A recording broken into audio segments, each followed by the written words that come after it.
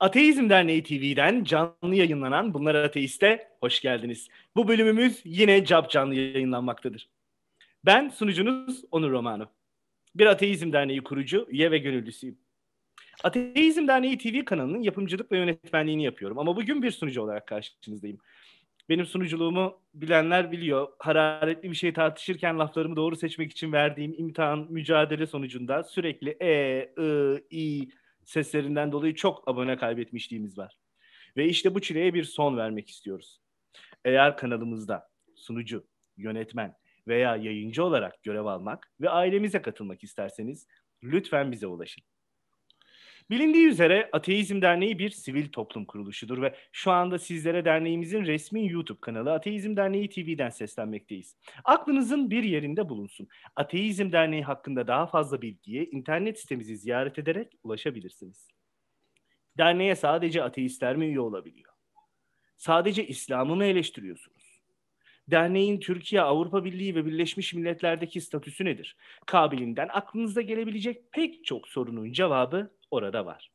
Ama şunu biliniz ki bizim altımızda, üstümüzde, arkamızda, gerimizde, berimizde çeşitli hükümetler, karanlık lobiler, öyle gizemli güçler falan yok. Arkamızda sadece sizler. Türkiye'nin aydınlık savaşçıları var. Bizi daha iyi tanımak, toplumsal olaylar karşısında verdiğimiz doğal reflekslerimizi yakından gözlemlemek isterseniz lütfen Facebook, Instagram ve Twitter sayfalarımızı takip alın. YouTube kanalımıza abone olun ve bildirim zilini açın. Bildirim zilini açın. Bildirim zilini açın. Bu uzun girişten sonra programı açmadan önce sizlere bize olan destekleriniz için teşekkür etmek isterim. Ateizm Derneği'ni ve kanalımızı Patreon ve Kreosus üzerinden destekleyebilirsiniz. Bildiğiniz gibi bu yayınlar sizlerin bağışları sayesinde sağlanan teknik imkanlar ile gönüllüler tarafından gerçekleştirilmekte.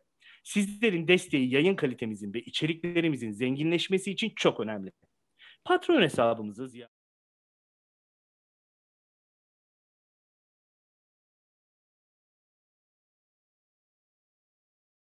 Patron hesabımızı ziyaret ederek aylık 1 dolardan 100 dolara kadar olan paketlerde birbirinden ilginç özellik ve hediyelerin yer aldığını görebilirsiniz. Nasıl özellikler mi? Sunucularımız ile görüntülü sohbet gibi konu ve konuklarımızın belirlenmesinde yer alarak kanalımızın mutfağına girmek gibi hediyelik eşya ve promosyon ürünlerimiz gibi birbirinden ilginç sürprizler ve hediyeler sizi bekliyor. Özellikle yurt dışında yaşayan ve yabancı kredi kartı kullanan izleyicilerimiz Patreon hesabımızı lütfen dikkatle inceleyin. Yerli kredi kartı kullanan ve bizi Kreasus üzerinden desteklemeyi tercih eden dostlarımıza da yine ekranda gördüğünüz ilgili hesabımıza yönlendirmek isterim. Amacımız kanalımızı geliştirerek haftanın 7 günü farklı formatlarda yayınlar yaparak sizlere özgün içerikler üretebilecek bir seviyeye gelmek ekibimize katılmak için lütfen bize e-posta ile ulaşın. Programa katılıp canlı yayında soru sormak ve hediye e, kitap kazanmak için normalde bir numara arayabiliyorsunuz. Ama bu programımıza telefon konuğu almıyoruz. O nedenle bu sefer telefon yok. Ama normalde biliyorsunuz Turan Dursun kitapları hediye ediyoruz. Nihayet şimdi sizlere artık konuklarımdan ve bu akşamki yayınımızdan bahsetmek istiyorum. 140 canlı yayından sonra bir ilki gerçekleştiriyor ve daha önce denemediğimiz yeni bir format deniyoruz. Münazara formatında yapacağımız bu ilk canlı yayında alanında lider iki dev isim karşılaşıyor. Kırmızı köşede fizyoloji dalında yaptığı çalışmaların yanı sıra psikoloji, toplum bilimleri ve bilim felsefesi alanında kendinden sıkça söz ettiren ve bireysel mantık süzgecinde tüm yolların te- teizme çıktığını savunan çok sevdiğimiz bir bilim insanı dostumuz Profesör Doktor Sinan Canan. Mavi köşede Amerika'da yaşayan İslam eleştirmeni bir YouTuber. İslam'dan uzak durun sloganı ile gönüllere taht kuran Apostate Prophet adıyla bilinen dernek üyemiz Rıdvan Aydemir. Peki bugünün formatı nasıl olacak? İlk başta yazı ve tura atarak kimin başlayacağını belirleyeceğiz. Ne yazık ki e, metal para, bozuk para bulamadım. O nedenle ananas çevireceğim yazı tura niyetine. e, bunun dışında e, peki formatımız nasıl olacak? Yazı tura atarak birinci bölümde ilk kimin sözü alacağını belirleyeceğiz. Daha sonra toplam 6 bölüm ve her bölüm 15'er dakikadan oluşuyor. Önce ben moderatör olarak ilgili soruyu soracağım. Bunu takiben birinci konuşmacı iki dakika kesintisiz söz alacak. Daha sonra ikinci konuşmacı iki dakika kesintisiz söz alacak. Daha sonra bunu takiben iki konuşmacı 10 dakika karşılıklı tartışacak. Peki bölümlerimiz 6 bölüm ha, nelerden oluşuyor? Birinci bölümümüz varoluş. İkinci bölüm ahlak. Üçüncü bölüm ya varsa. Dördüncü bölüm özgür irade. Beşinci bölüm adalet. Ve altıncı bölüm bilimin yeterliliği. Öncelikle yayına başlamadan önce, münazarımıza başlamadan önce konuklarıma merhaba demek istiyorum. Merhabalar sevgili Sinan Bey, merhaba. Ee, merhaba Onurcuğum. Merhaba, sağ ol. Hoş, e, teşekkür ediyorum. Hoş bulduk. Davetiniz için sağ olun. Sevdiğim bir yerde enteresan insanlarla sohbet, muhabbet hem de yeni formatta ilk olmak güzel bir şey. Evet, ilk defa bugün e, böyle bir format deneyeceğiz. Öncelikle ikinize de çok teşekkür ederiz e, kabul ettiğiniz için. O zaman ne yapalım?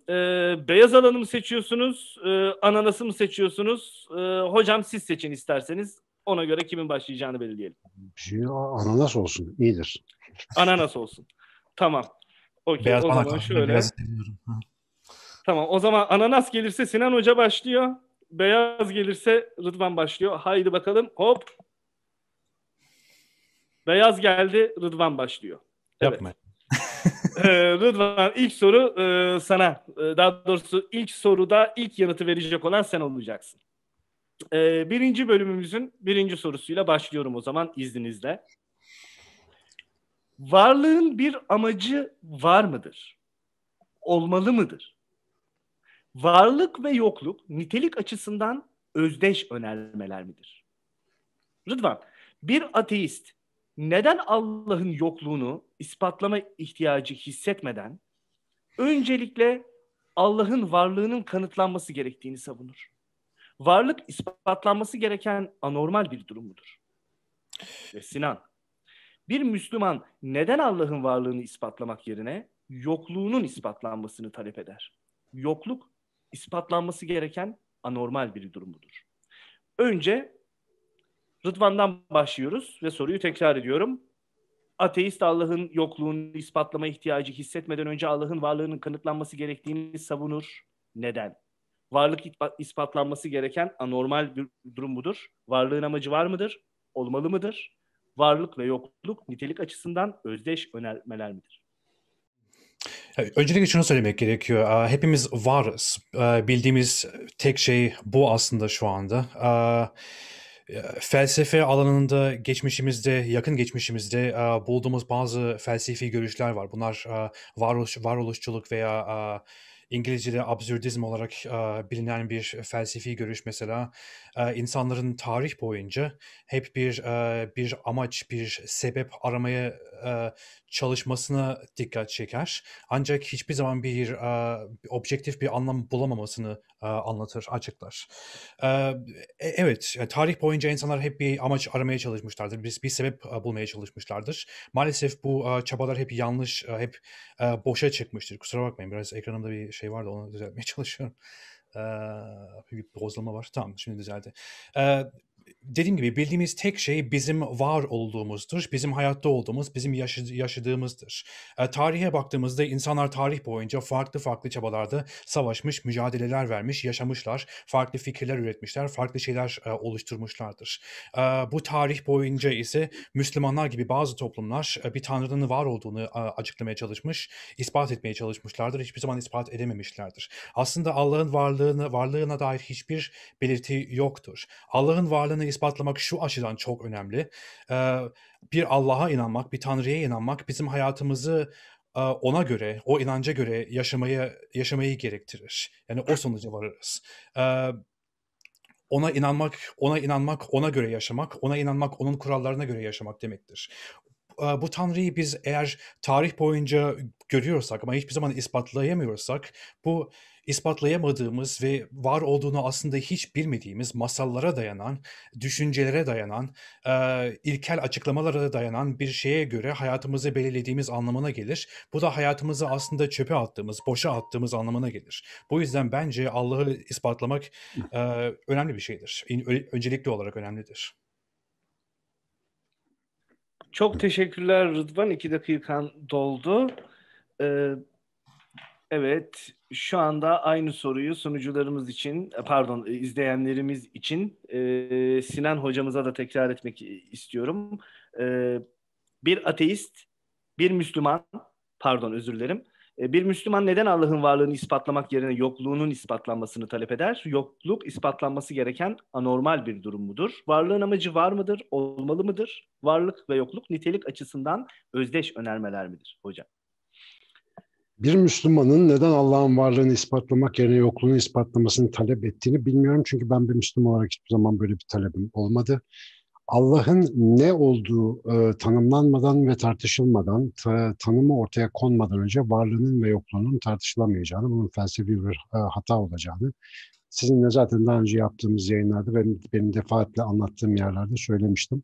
Şimdi e, tabii ikinci konuşmacı olmanın avantajı Rıdvan'a bazı atıflar yapacağım. Mesela Rıdvan kesin olarak bildiğimiz bir şey var, o da varız dedi. Aksine kesin olarak bildiğimiz bir şey var. Varlığımızdan asla emin olamıyoruz. Descartes'tan beri bunu biliyoruz ve bugün modern sinir biliminde bize söylediği varız dediğimiz ya da var dediğimiz her şey algılarımızın yorumundan ibaret. Dolayısıyla dış gerçekliğin doğrudan nasıl bir şey olduğunu deneyimleyemeyen bir varlığız. Tanrı'nın ya da Allah'ın ismine ne koyuyorsanız dışsal bir amil ya da varlık insandan ya da alemden ayrı yahut işte ayrı bir şahsiyet olarak değerlendirildiği bir Tanrı inancını ben paylaşmıyorum. Dolayısıyla sizinle burada Müslüman toplumların birçoğunu etkileyen inanca atipik olarak yaklaşan ve ona uzak duran bir Müslüman olarak konuşuyorum. Zira tarih boyunca daha önce Ali Şeriat'ın da dine karşı dinde çok iyi tarif ettiği gibi iki tip Tanrı anlayışı ve iki tip din çıkar karşımıza. Bu dinlerin e, biri e, e, Ali Şeriat'ın ifadesiyle tagut dini diye bahsettiği şey, insanların kendi yaptıkları, putlara taptığı hikayelerde anlatıldığı gibi kendi tanrısal algılarını içinde bulundukları kültürel dine yamadıkları ve onun ra- rasyonalizasyonunu ya da din haline getirilmesini bu anlayış üzerinden gerçekleştirip tanrısal mesajı örttükleri ve işte Allah'tan gelen esas mesajı kendilerine uydurdukları yönündeki bir dindir. Bugün Müslümanlık, Hristiyanlık, şu bu gibi dinlerin hepsinde benzer bir şey görüyoruz. İki dakika çok kısaymış. Amaç dedim, amaç zihin varsa vardır. E, sorgulayan, amaç arayan bir zihin olmadıktan sonra amaçtan bahsetmek çok zor. 10 dakikalık sürede galiba bunu karşılıklı tamamlayacağız. Evet hocam, çok teşekkürler. Ee, şu anda e, 10 dakika karşılıklı bu konuyu aynen tartışmaya devam edeceğiz. Ee, Rıdvan ve e, Sinan hocam buyurun. Ee, ben yarım kaldı tamamlayayım mı o şeyi? 10 dakikanın bir kısmını ona kullanayım. Şimdi e, bizim zihnimiz, insan zihni çok gelişkin bir e, evrimsel hikayeye sahip olduğu için, evrimsel hikayenin sonucu çok gelişkin bir noktaya geldiği için sebep sonuç zinciriyle çalışıyor. Yani işte akıl diye, reasoning diye bir melekesi var ve bir şeylerin sebebini aramakla yükümlü hissediyor kendini. Yani sebepsiz bir varoluşu kaldıramıyor. Dolayısıyla doğal olarak e, doğasında her şeye bir sebep atamak var. Her şeyin bir nedenini aramak var. Bu güncel olaylarda okey ama e, bütün varlığın sebebine yani dışarıda baktığı, düzenli gördüğü şeylerin sebebine dair akıl yürütmeye başladığında aklı yettiği yere kadar tanrılar icat ediyor. Benim şimdiye kadar karşılaştığım bütün tanrılar Ateizm tanrısı da dahil olmak üzere bunu daha sonra açarım. İnsan ürünü tanrılardır ve insan ürünü tanrıları reddeden tek inanç öz İslam inancıdır. Çünkü Allah diyebilmeniz için var olan bütün tanrıları reddetmeniz gerekir. Gökte oturan, bir şey yaratan, sizden ayrı duran herhangi bir tanrı inancını reddetmedikçe İslam olamazsınız. Bundan dolayı ben İslam inancını akla en yakın bu anlamda uygulamalarından bağımsız olarak öz inanç ve anlatı olarak e, akla ve insana en yakın inanç olarak görüyorum. Allah'ı tanımlamak bu nedenle varlığını yokluğunu tartışmaktan çok önce gelir diye düşünüyorum. Aslında bu eee, burada konuyu pek cevaplamış, eee, olmadık Sinan Bey. Ben öyle öyle düşünüyorum. Yani aslında, Neden? eee, eee, verdiğiniz gerekçelere göre ve verdiğiniz açıkla açıklamalara göre aslında, eee, Tanrı dediğimiz şeyden, eee, Tanrı dediğimiz şeye inanmak için bizim hiçbir sebebimiz yok. Tanrı dediğimiz şey sadece insanların, eee, bir, eee, amaç arama çabası içerisinde olması, eee, etrafını ve etrafında olanları anlamaya çalışması ve bu, eee, bu çabayı bu çabanın sonucunda bu bu çabanın sonucunda, işte, Allah var, herhalde o bizi yarattı gibisinden bir sonuca varmasının sonucudur. Aslında tarihe baktığımızda, eee, tek tanrı olan Tanrı'nın ömrü, eee, pek de uzun değil. Bu bu tek Çok tanrıdan önemli. önce bu tek tanrıdan önce çok, aaa, farklı tanrılar vardı. Bir sürü tanrı vardı. İnsanlar hatta, aaa, dünya e evrendeki farklı, aaa, fonksiyonlara farklı tanrılar yüklerdi. Mesela, eee, yıldırıma farklı bir tanrı yükler, suya farklı bir tanrı yükler. Bu gibi tanrılara farklı, aaa, anlamlar yüklerlerdi.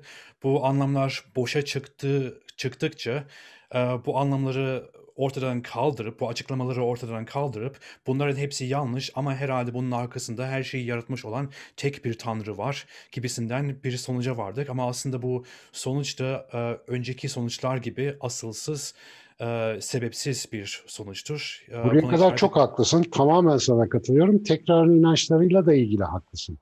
Zira İslam mesajında zaten reddedilmesi istenen şey tek tanrı inançları da dahil olmak üzere diğer bütün inançlardır.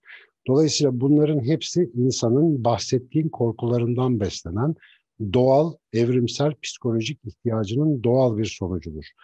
Eğer ki bu arada tabii ki biz hani Kur'an'ı mı, Allah'ı mı, İslam'ı mı neyi tartıştığımızı bir ayırt etmek lazım ama madem Allah kavramını tartışıyoruz, Allah kavramını önerildiği dil ve anlam bütünü içinde tanımlamak lazım.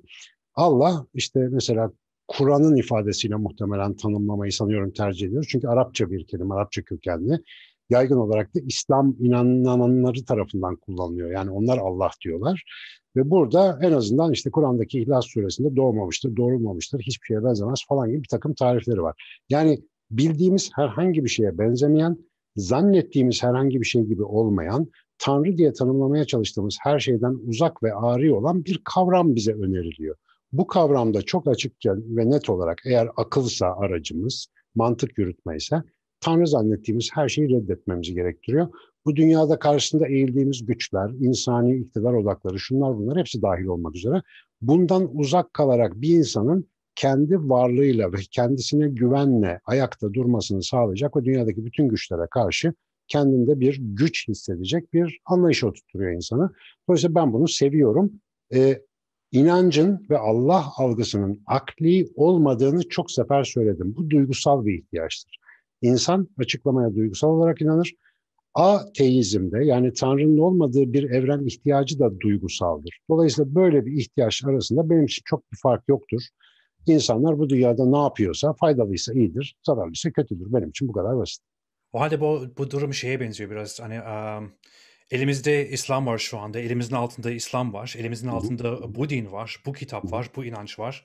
Bu inanç uh, uh, tamamen mantıklı olmasa da, doğru olmasa da uh, doğru olana yakın bir şeye işaret ediyor. Bu yüzden buna Benim öyle bir iddiam yok. Ben bu kitabın, bu inancın, bu öz inancın tamamen mantıklı olduğunu iddia ediyorum. Interpretation yani yorumunda problem var. Çünkü bu hani bu, bu inancı tam olarak neye dayandırıyorsunuz? Çünkü bu bu inancın Kur'an'da kitabında aslında anlattığınızda benzer bir şey yok.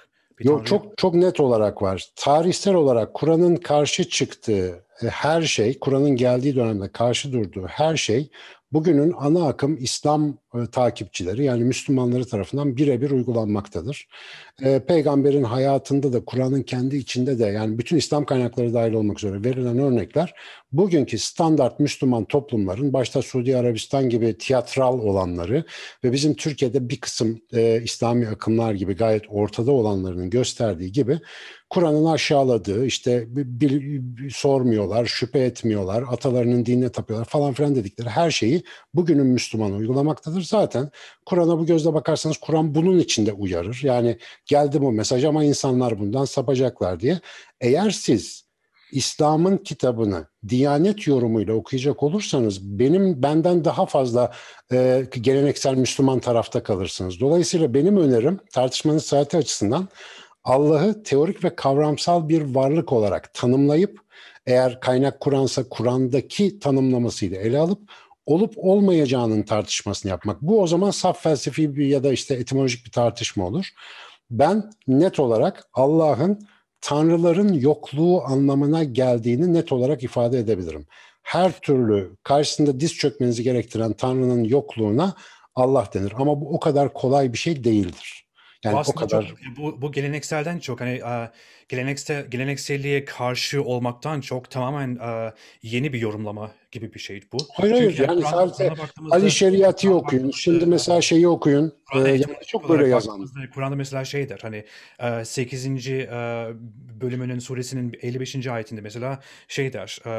insanlar insanlar içerisinde pardon bütün yaratıkları yaratıklar içerisinde en Tanrı katında en aşağılık olanlar Tanrı'ya inanmayanlardır gibisinden bir Hayır, şey. o ayette şöyle der. Onlar bir gör kulakları vardır görmezler. Tanrı katında en aşağılık hayvanlardan daha aşağı olan aklını kullanmayan sağır ve dirsizlerdir der. O senin bahsettiğin Hayır, o, o, bahsettiğim ayete tam olarak inanmayanlar. Yani aç, orijinalini aç. Ben biliyorum o ayeti. Hatta ya şuna da gelmek kullanmayan sağır ve dirsizlerdir. Hayır, bak şimdi, bir tanrıdan bahsediyorsunuz. Bak sorun ne biliyor musun? Sen, ben daha önceki yayınımızda da Rıdvan'cığım sana söylemiştim. Çok çok iyi niyetle bir şey söylüyorsun ama İslam içinden bir yorumu benim de kabul etmediğim bir yorumu bana sorduğun zaman ben de onu kabul etmiyorum. Aslında yanlış şeyi tartışıyoruz. Sen de kabul etmiyorsun. O yorumu ben de kabul etmiyorum. Konu Ama ben, Allah varlığı ispatlanır bir şeydir. Hı-hı. Ben Kur'an'ın onu söylediğini kabul ediyorum. Çünkü hani Kur'an'ın onu söylediğini söylediği hani e, kanıtlanmış bir şey. Yani bilinen bir şey. Değil, yani değil bir şey. yanlış biliyorsun. Ben onun, ben onun gerçek dışı bir şey olduğuna inanıyorum. Yani bunun saçma ve kötü bir şey olduğuna inanıyorum. Siz Kur'an'ın onu söylemediğine inanıyorsunuz. Bu Sen sadece Kur'an'ın bir yorumuna karşı geliyorsun ve çok haklısın yanındayım. O yorum kesinlikle makul değil. Hiç çok kesinlikle doğru. makul değil. Şu anda bir e, dahiliye kitabı açsak, tıp kitabı oradan bir satır okusak bunu aynı şekilde böyle boş tartışacağız. Çünkü oradaki teknik terimlerin hiçbirini bilmediğimiz için ne anlama gelir e, bir etimolojik çalışmamız olmadığı için onun üzerine istediğimiz kadar havanda su dövelim. Net olarak şöyle bir şey var. O zaman Kur'an'ın çoğunu yok saymamız gerekiyor. Çünkü Hayır, Kur'an'ın çoğunu varsayabilirsin. Araştırdığım yüzlerce uh, hani saçma olan uh, yetmez acı bu iş. Anlam vardır mesela. Ya şöyle metodolojik bir sıkıntı var. Bir teksti okuyabilmen için o tekstin bir dilini, iki kavramları, üç o tekstin bağlamını anlamak lazım. Bağlamını oturtmak lazım ki teksti anlayalım. Şimdi biz 1400 yıl önce inmiş bir metni bugünün özellikle reddici mantığı içerisinden bakarak ya da geleneksel mantığı içerisinden bakarak o günün anlamıyla ya da orijinal anlamıyla okuma şansımız yok. Bu Orhan Pamuk'un romanı için de geçerli. Sadece Kur'an değil. Orhan Pamuk'un romanı bundan bin sene sonra okuyacak bir adam bizden çok farklı bir şey anlayacak. Dolayısıyla bir metni okurken hayat görgüsü ve bilgisiyle okumaz isen bir romana da Kur'an'a da işkence edersin. Yani onu kendi bağlamı içerisinde ve bugüne ne anlattığı noktasında okumak lazım. Şimdi Tabii, ben Kur'an'ın bütün gerçekleri içeren bir kitap olduğunu zannetmiyorum. Bu, bu dediğimi duydun mu mesela? Evrensel olarak, tarihsel olarak aradığımız, hani bize ihtiya ihtiyacımız olan gerçek cevap soyut Tanrı yani olmayan Tanrı cevabı Muhammed'e mi geldi? Hayır. Hiç kimseye gelmedi. O, o cevap ararsan sende diyor Kur'an zaten. Mesela orada Allah yazan bütün ayetlerdeki Allah kelimesini çıkar yerine insan koy ne anlam bozulur ne içerik bozulur. Dolayısıyla Kur'an'ı okumanın yolları arasında böyle karşılaştırmalı yollar da var. Allah yazan yere tekrar deneyiniz lütfen. Kur'an basılı tekst olarak her yerde var. Allah yazan her yere insanı koyun.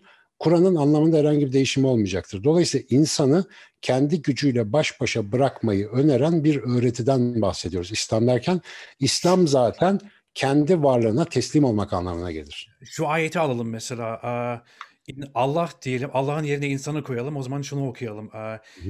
İlk başta insan yeri ve gökleri yaratmıştır. Sonra yeri sermiştir. Gökleri ise sizin görmediğiniz şeylerle, sütunlarla kaldırmıştır ve ve insan göğü yere düşmemesi için, üzerine düşmemesi için tutar. Aynen mesela sen e, şey. e, Yunan Yunan mitolojisi hiç okudun mu? Mesela Peki. orada bugün psikolojide biz Yunan mitolojisini nasıl kullanıyoruz hiç dikkat ettin mi? Yunan mitolojisinde Zeus ah şöyle böyle demiyoruz. İnsanın birçok psikolojik sendromuna nasıl dokunmuşlar bugün e, Freud'dan bugüne kadar bütün psikologlar hatır hatır mitoloji anlatıyorlar bize. Mitolojideki Zeus yıldırım fırlattığı için değil. Oradaki analojilerin bugün hala bizim için geçerli olmasından dolayı Kur'an'ı okurken ya da antik bir metni okurken başka bir dil tavsiye ederim. Böyle okunmaz. Bu Diyanet'in okuduğu şey bize iyi gelmiyor. Süremiz Diyanet mi? böyle okuyor. Evet çok teşekkürler. 10 dakikamız bu bölüm için e, belirlediğimiz 10 dakikanın sonuna geldik. Münazara Şimdi, ne zormuş ya. evet hocam. Yani dağıttım falan. Şimdi ikinci bölüme geçiyoruz. Bu arada e, izleyicilerimize bir şey hatırlatmak isterim. E, bu münazaranın kazananını vereceğiniz oylarla siz belirleyeceksiniz. Şu anda Ödülümüz ne? Bir dakika ona göre performans gösterelim. Sonuçta biz ne kazanıyoruz? Oy çok alırsam ne olacak yani? Hocam e, ben cennete gideceğim tamam. üyeliği veriyoruz. Nasıl? Ateizm Derneği üyeliği veriyoruz. Arkadaş bu kadar olur mu ya? Söylemeler olsun. evet, e, şimdi e, ikinci bölüme geçiyoruz. Bu arada evet dediğim gibi e, canlı chat alanındaki yönlendirmeleri takip ederek e, şu anda canlı yayın esnasındaki oylamaya katılıp kazananı belirleyebilirsiniz. Daha sonra izleyen e, izleyicilerimiz e, bu oy verme aşamasında yer alamayacak banttan izleyenler. Evet, şimdi ikinci bölümümüze geçiyoruz. İkinci bölümdeki sorumuz şu. Geçen bölüme en son e, Rıdvan başlamıştı ilk olarak. O nedenle bu bölüme ilk e, olarak e, Sinan hocamız başlayacak. Evrensel ve değişmeyen bir ahlak mümkün müdür? Zamana ve topluluklara göre ahlaki değerlerin değiştiğini düşünüyor musunuz? Eğer evet ise Kur'an gibi bir evrensel ahlak iddiası ne kadar mantıklı olur? Eğer hayır ise zaman veya toplum farkı olup aynı ahlaki değerlere sahip iki medeniyet, topluluk söyler misiniz? İslam ve Kur'an, dinler ve kitapları gelmiş ve gelecek tüm medeniyetlerin, toplumların ahlaki ihtiyaçlarına cevap, çözüm üretebilir mi? Önce ben başlıyorum. Doğru. Evet. Yine ben tabii bir etimoloji sever olarak ahlak derken ne kastettiğimizi ben seslendirmeye çalışacağım. Ahlak kelimesini kullandığımıza göre etikten farklı bir şey kastediyoruz. Etik toplumsal işleyiş kuralları anlamında. Ahlak ise yine Arapça kökenli bir kelime. Çok ilginç yalnız ateizm kanalında bu kadar Arapça kelime üzerine konuşmak da ilginç oldu. Ee, Ahlak kavramı halk sözünden gelir. Yani yaratılış demektir. Herhangi bir canlının yaratılışına uygun davranmasına ahlak adını veriyoruz.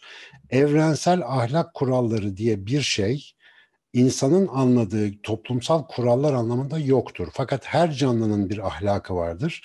Ve özellikle benim insanın fabrika ayarları kitabında şiddetle iddia ettiğim gibi sadece insan kendi ahlakının dışına çıkabilme özelliğine sahip bir canlıdır.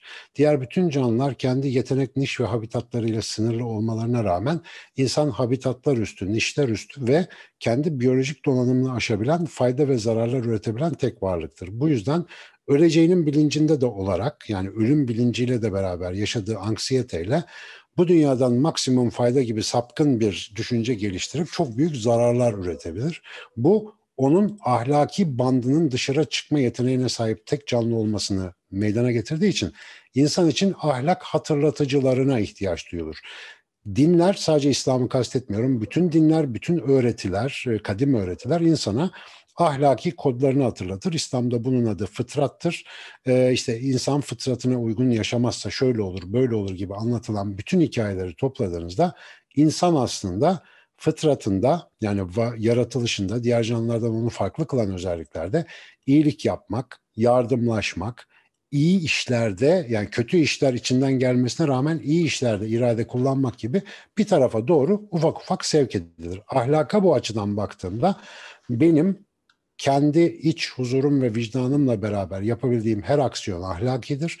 Bu evrensel olarak bir kitapta yazan bir şey değil, kitabın da yani Kur'an'ın da tavsiye ettiği gibi insanın yaşamsal süreci sırasında kendisinin keşfetmesi gereken, kendini tanıma sürecinin önemli bir parçasıdır. E, dolayısıyla bir kitapta yazan ahlak kurallarını motomot uygulamak modern medeniyetin tercihidir. Anayasalar bu yüzden yazılır. Halbuki kadim metinler sadece prensipleri verirler. Bu prensipler size normal hayatınızdaki sayısız farklı durumda ne işe yarar çok geçmişiz. Öyle iyidir yani. Hemen kapatıyorum. Ama moderatör unuttu. Ne yapayım sürekli? Evet, evet, evet. Ben benim hatam. Çok özür dilerim. 2 dakika 20 saniye olmuş. Lütfen cümlenizi bitirin hocam. Ta, e, ne diyecektim unuttum valla. Yani genel prensipleri verirler. Biz de ona göre farklı durumlarda davranış sergileriz. Rehber de, e, şeylerdir yani onlar. Çok teşekkürler. Ee, Rıdvan'cığım e, sana 20 saniye fazla vereceğim. Çünkü e, bir hata yaşadım orada. Kusura bakma. Evet, başlayabilirsin. Ben o zaman Sinan Bey'e teşekkür edeyim bu fazla süre için. Ee, başlıyorum. Evet, aslında ahlak dediğimiz şey insanların hani bizim e, sorguladığımız anlamda ahlak dediğimiz şey aslında çok basit bir şeydir. Evrensel bir ahlak hiçbir zaman var olamaz, olmayacaktır. özellikle insanlar gibi akıllı varlıklar için var olmayacaktır. Ahlak tamamen şartlar üzerine ve imkanlarımız üzerine ihtiyaçlarımız üzerine geliştirilmiş bir sistemdir. Yani düşünün ki varız, ben varım, hiç başka hiç kimsenin olmadığı bir toplumda ortaya çıkıyorum ben veya bir, bir ailenin içerisinde ortaya çıkıyorum. Benim bir ailem var. Ben bir dünyada yaşıyorum açım, yemek yemek istiyorum, hayatta kalmak istiyorum. E, hayatta kalmak için bir çaba sarf ediyorum. E, yemek bulmaya çalışıyorum. E, hayatta kalmaya çalışıyorum. Kendimi güvende hissetmeye çalışıyorum. Etrafımdaki şeyleri açıklamaya çalışıyorum bir şekilde. Ama bir süre sonra e, benden uzak veya bana yakınlaşan başka varlıkların da olduğunu ve onların da aynı çabayı güttüğünü görüyorum. Onlar da hayatta kalma çabası güdüyor. E, tabii onlar e, beni yeni gördüğü için benden korkuyor. Hani ben, ben onların e, hayatta kalma çabasına engel olacağım gibisinden bir e, bir, bir düşüncede bulunuyorlar ve sonuç olarak biz kavga etmeye başlıyoruz. Birbirimizi öldürmeye ve savaşlarda bulunmaya başlıyoruz. Bir süre sonra akıllı insanlar olarak e, bu savaşların aslında bize zarar verdiğini, hiçbir yere gitmeyeceğini ve bizim e, beraber yaşamak için, kendimizi güvende hissetmek için bazı kurallar e, kurallar yapmamız yap, yapmamızı kusura bakmayın Türkçe e, Türkçeyi yavaş yavaş unutuyorum ama bazı kurallar yapmaya ihtiyaç duyduğumuzun evet. farkına varıyoruz. E, bu kurallara uyum sağlıyoruz çünkü kendimizi güvende hissetmek istiyoruz. E, sonraki nesiller ise bu kurallarla doğup büyüyorlar ve buna sonuç olarak ahlak ismini koyuyorlar. Sıradan olan ve sıradan olmayan şeyleri ahlak ahlaki olarak iyi veya kötü olarak sınıflandırıyorlar. Evrensel bir ahlak hiçbir zaman mümkün olmayacaktır. Ahlak şartlara göre değişir. Hayvanlar bizim kadar akıllı olmadıkları için herhangi bir ahlaki sistem kuramamışlardır. Biz akıllı olduğumuz için yavaş yavaş yavaş kurmuşuzdur. Bizim ahlakımız da şartlara göre değişir. Türkiye'de ise mesela bize göre hoş sayılan ama etrafımızda hoş sayılmayacak olan o yüzden bizim de e, bilişsel olarak e, yanlış olarak yorumladığımız bir sürü şey vardır. Hani bu açıdan ahlak e, evrensel olarak mümkün değildir. Ve kendimiz olarak da mümkün değildir aslında. Çok teşekkür ediyorum. Evet, e, şu anda e, karşılıklı olarak aynı başlığı tartışabiliriz. 10 dakikamız başladı. Buyurun Sinan Bey. Şimdi e, ahlak işte tanımlamadığımız zaman mesela ahlak değişebilir dediğinde e, mesela bir insanın bir insanı öldürmesi. Şimdi bu yani insan toplumunun bulunduğu her yerde aynen on emirde Tevrat'ta zikredildiği gibi öldürmeyeceksin. Bu bir hatırlatmadır. İnsan insanı öldürebilir. Bunda bir sıkıntı yok. Yani bunu yapıyor zaten. Ama öldürmeme kuralı hatırlatılmalıdır ki insan yaşatmayı hatırlasın. Şimdi ahlak kuralı dediğimiz şeyi sadece böyle utilitarian biraz faydacı bir tarafa indirgediğimizde ahlakın tanımı karışır. Ahlak temel olarak bu canlının doğuştan, yaratılıştan, evrimsel süreçten adına ne dersen de getirdiği sisteme uygun yaşaması, kendi iç barışıyla yaşayabilmesi ve toplumsal barışla devam edebilmesi için nasıl kodlara uyum sağlamalıdır'a biz aslında ahlak diyoruz.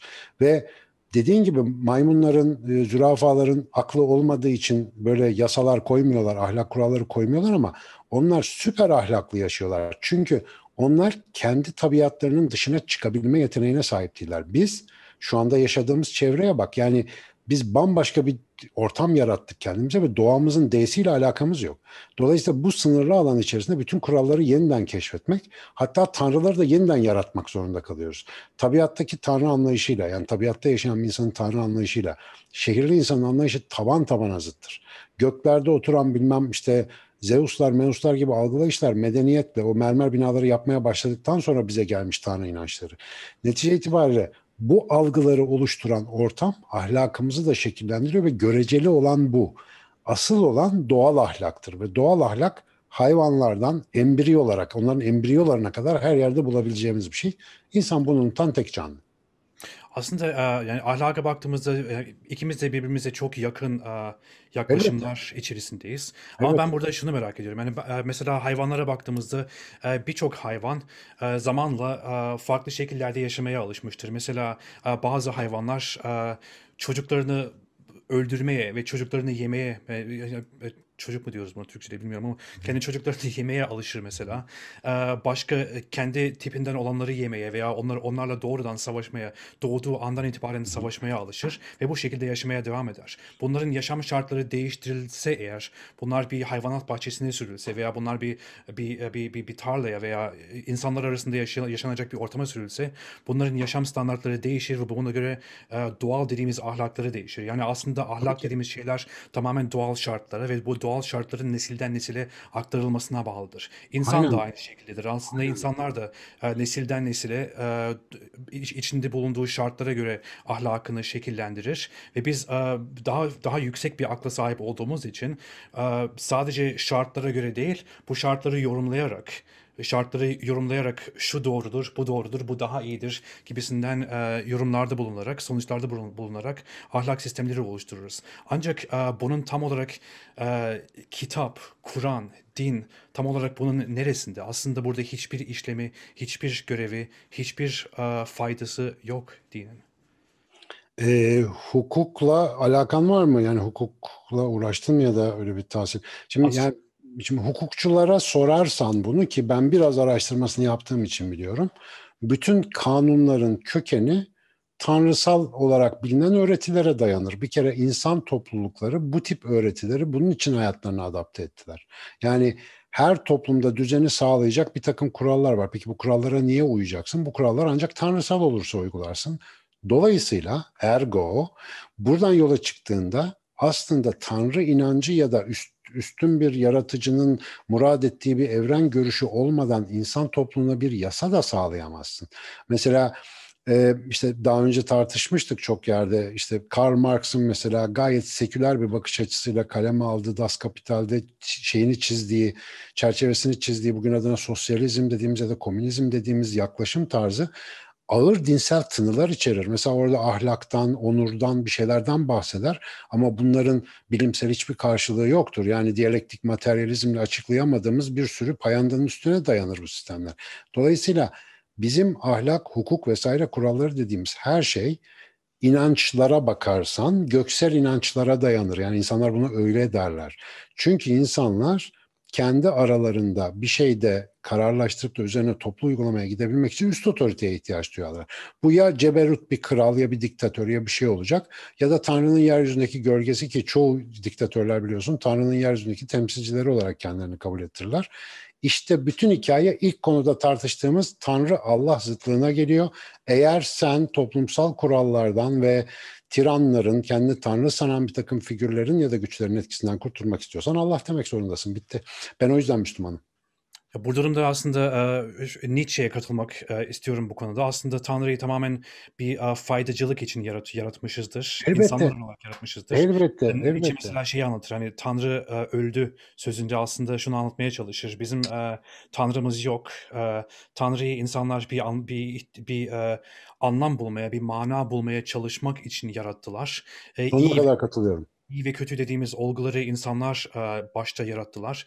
Bir e, köle ahlakına sahip oldukları için, ezilen kişiler oldukları için e, o şey, bizi ezenler kötüdür, bizim yaptıklarımız iyidir gibisinden bir anlayışa sahip oldular mecburen. Bu bir köle ahlakı. Bu köle ahlakını bir e, tanrıyla e, somutlandırdılar, e, kuvvetlendirdiler.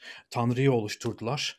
E, ama son zamanlarda Nietzsche'nin de e, ortaya çıktığı ve e, insanlık tarihini ve ahlakı yorumlandırdığı, yorumladığı zamanlarda Nietzsche bu yüzden şey demiştir. Biz tanrısız yaşamayı artık öğreniyoruz. Öğrendik. Tanrı öldü. Tanrı'yı biz öldürdük ve artık e, Tanrı'yı öldürdükten sonra biz kendi ahlakımızı kendimiz e, oluşturmalıyız. Hatta ahlakın dışına çıkmak ve sadece bizim için iyi olan, e, bizim aslında istediğimiz, bizi yüce yapan, bizi iyi yapan, kuvvetli yapan bir e, çerçevede, bir amaç uğrunda yaşamaya çalışmalıyız demiştir. Ya buradan aslında ben tamamen şunu çıkarıyorum ki e, Tanrı tamamen bizim faydacılık amacı, amacıyla yarattığımız bir olgudur, bir e, düşüncedir, aslında bir fikirdir.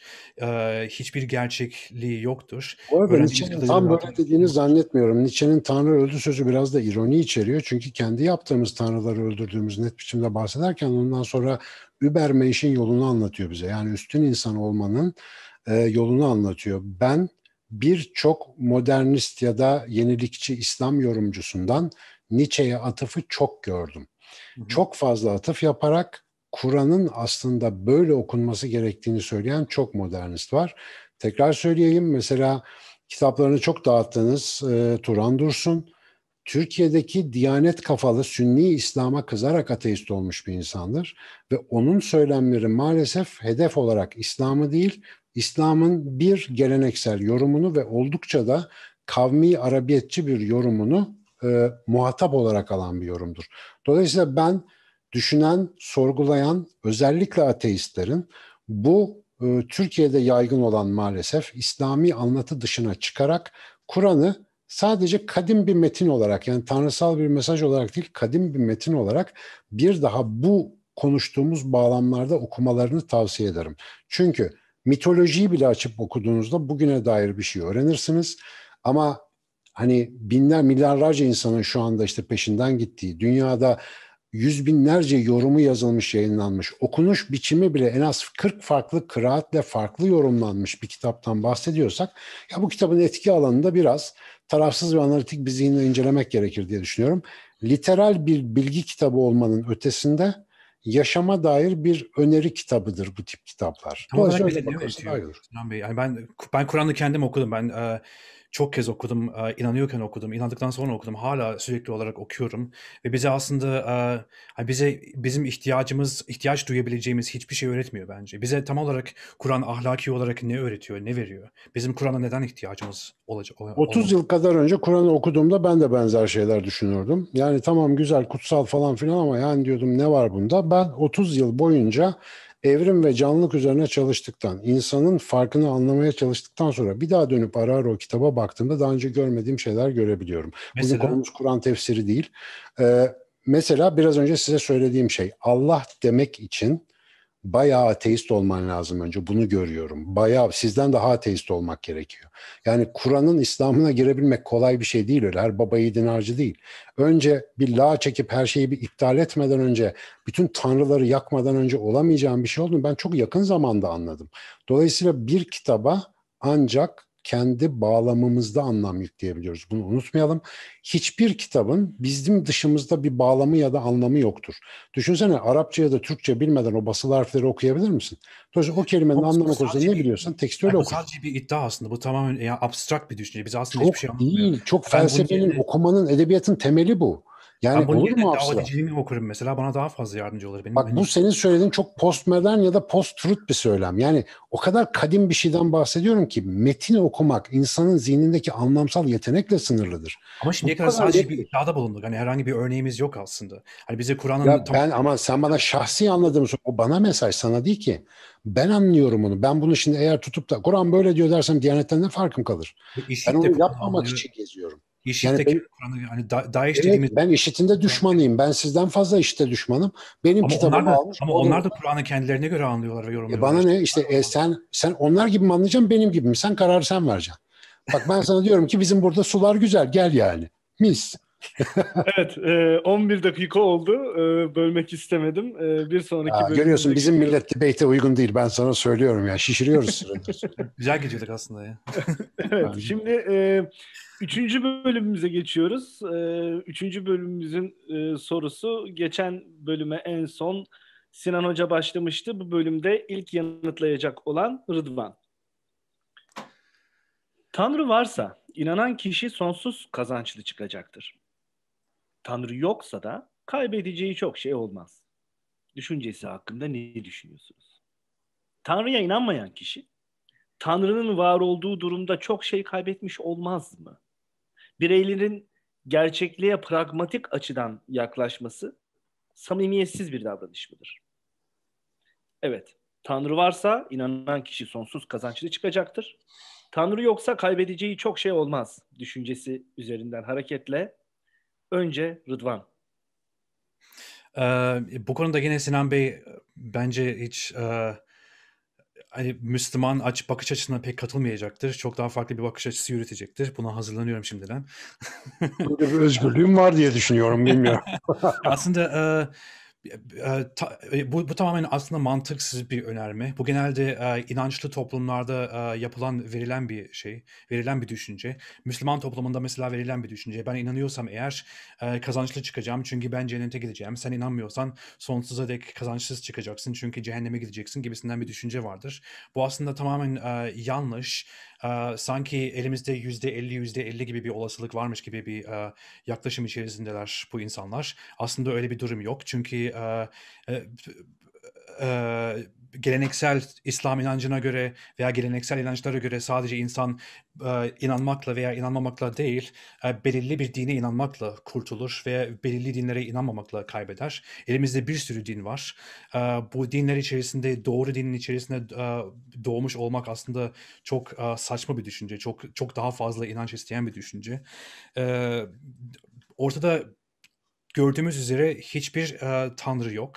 Tanrının varlığı için herhangi bir sebebimiz yok. Elimizde olan tek şey ve ispatlayabileceğimiz tek şey bizim kendi varlığımız. Ben bir tanrıya inanıyorsam eğer ve bu tanrıya göre hayatımı yaşıyorsam o halde elimde olan ve gerçek olduğunu bildiğim tek hayatı çöpe atmış olurum ve e, ve aslında varlığından emin olmadığım, eski masallardan ibaret olan, eski hikayelerden ibaret olan bir e, ölüm sonrası için bütün varlığımı ve bütün insanlık tarihini ve kendi tarihimi feda etmiş olurum.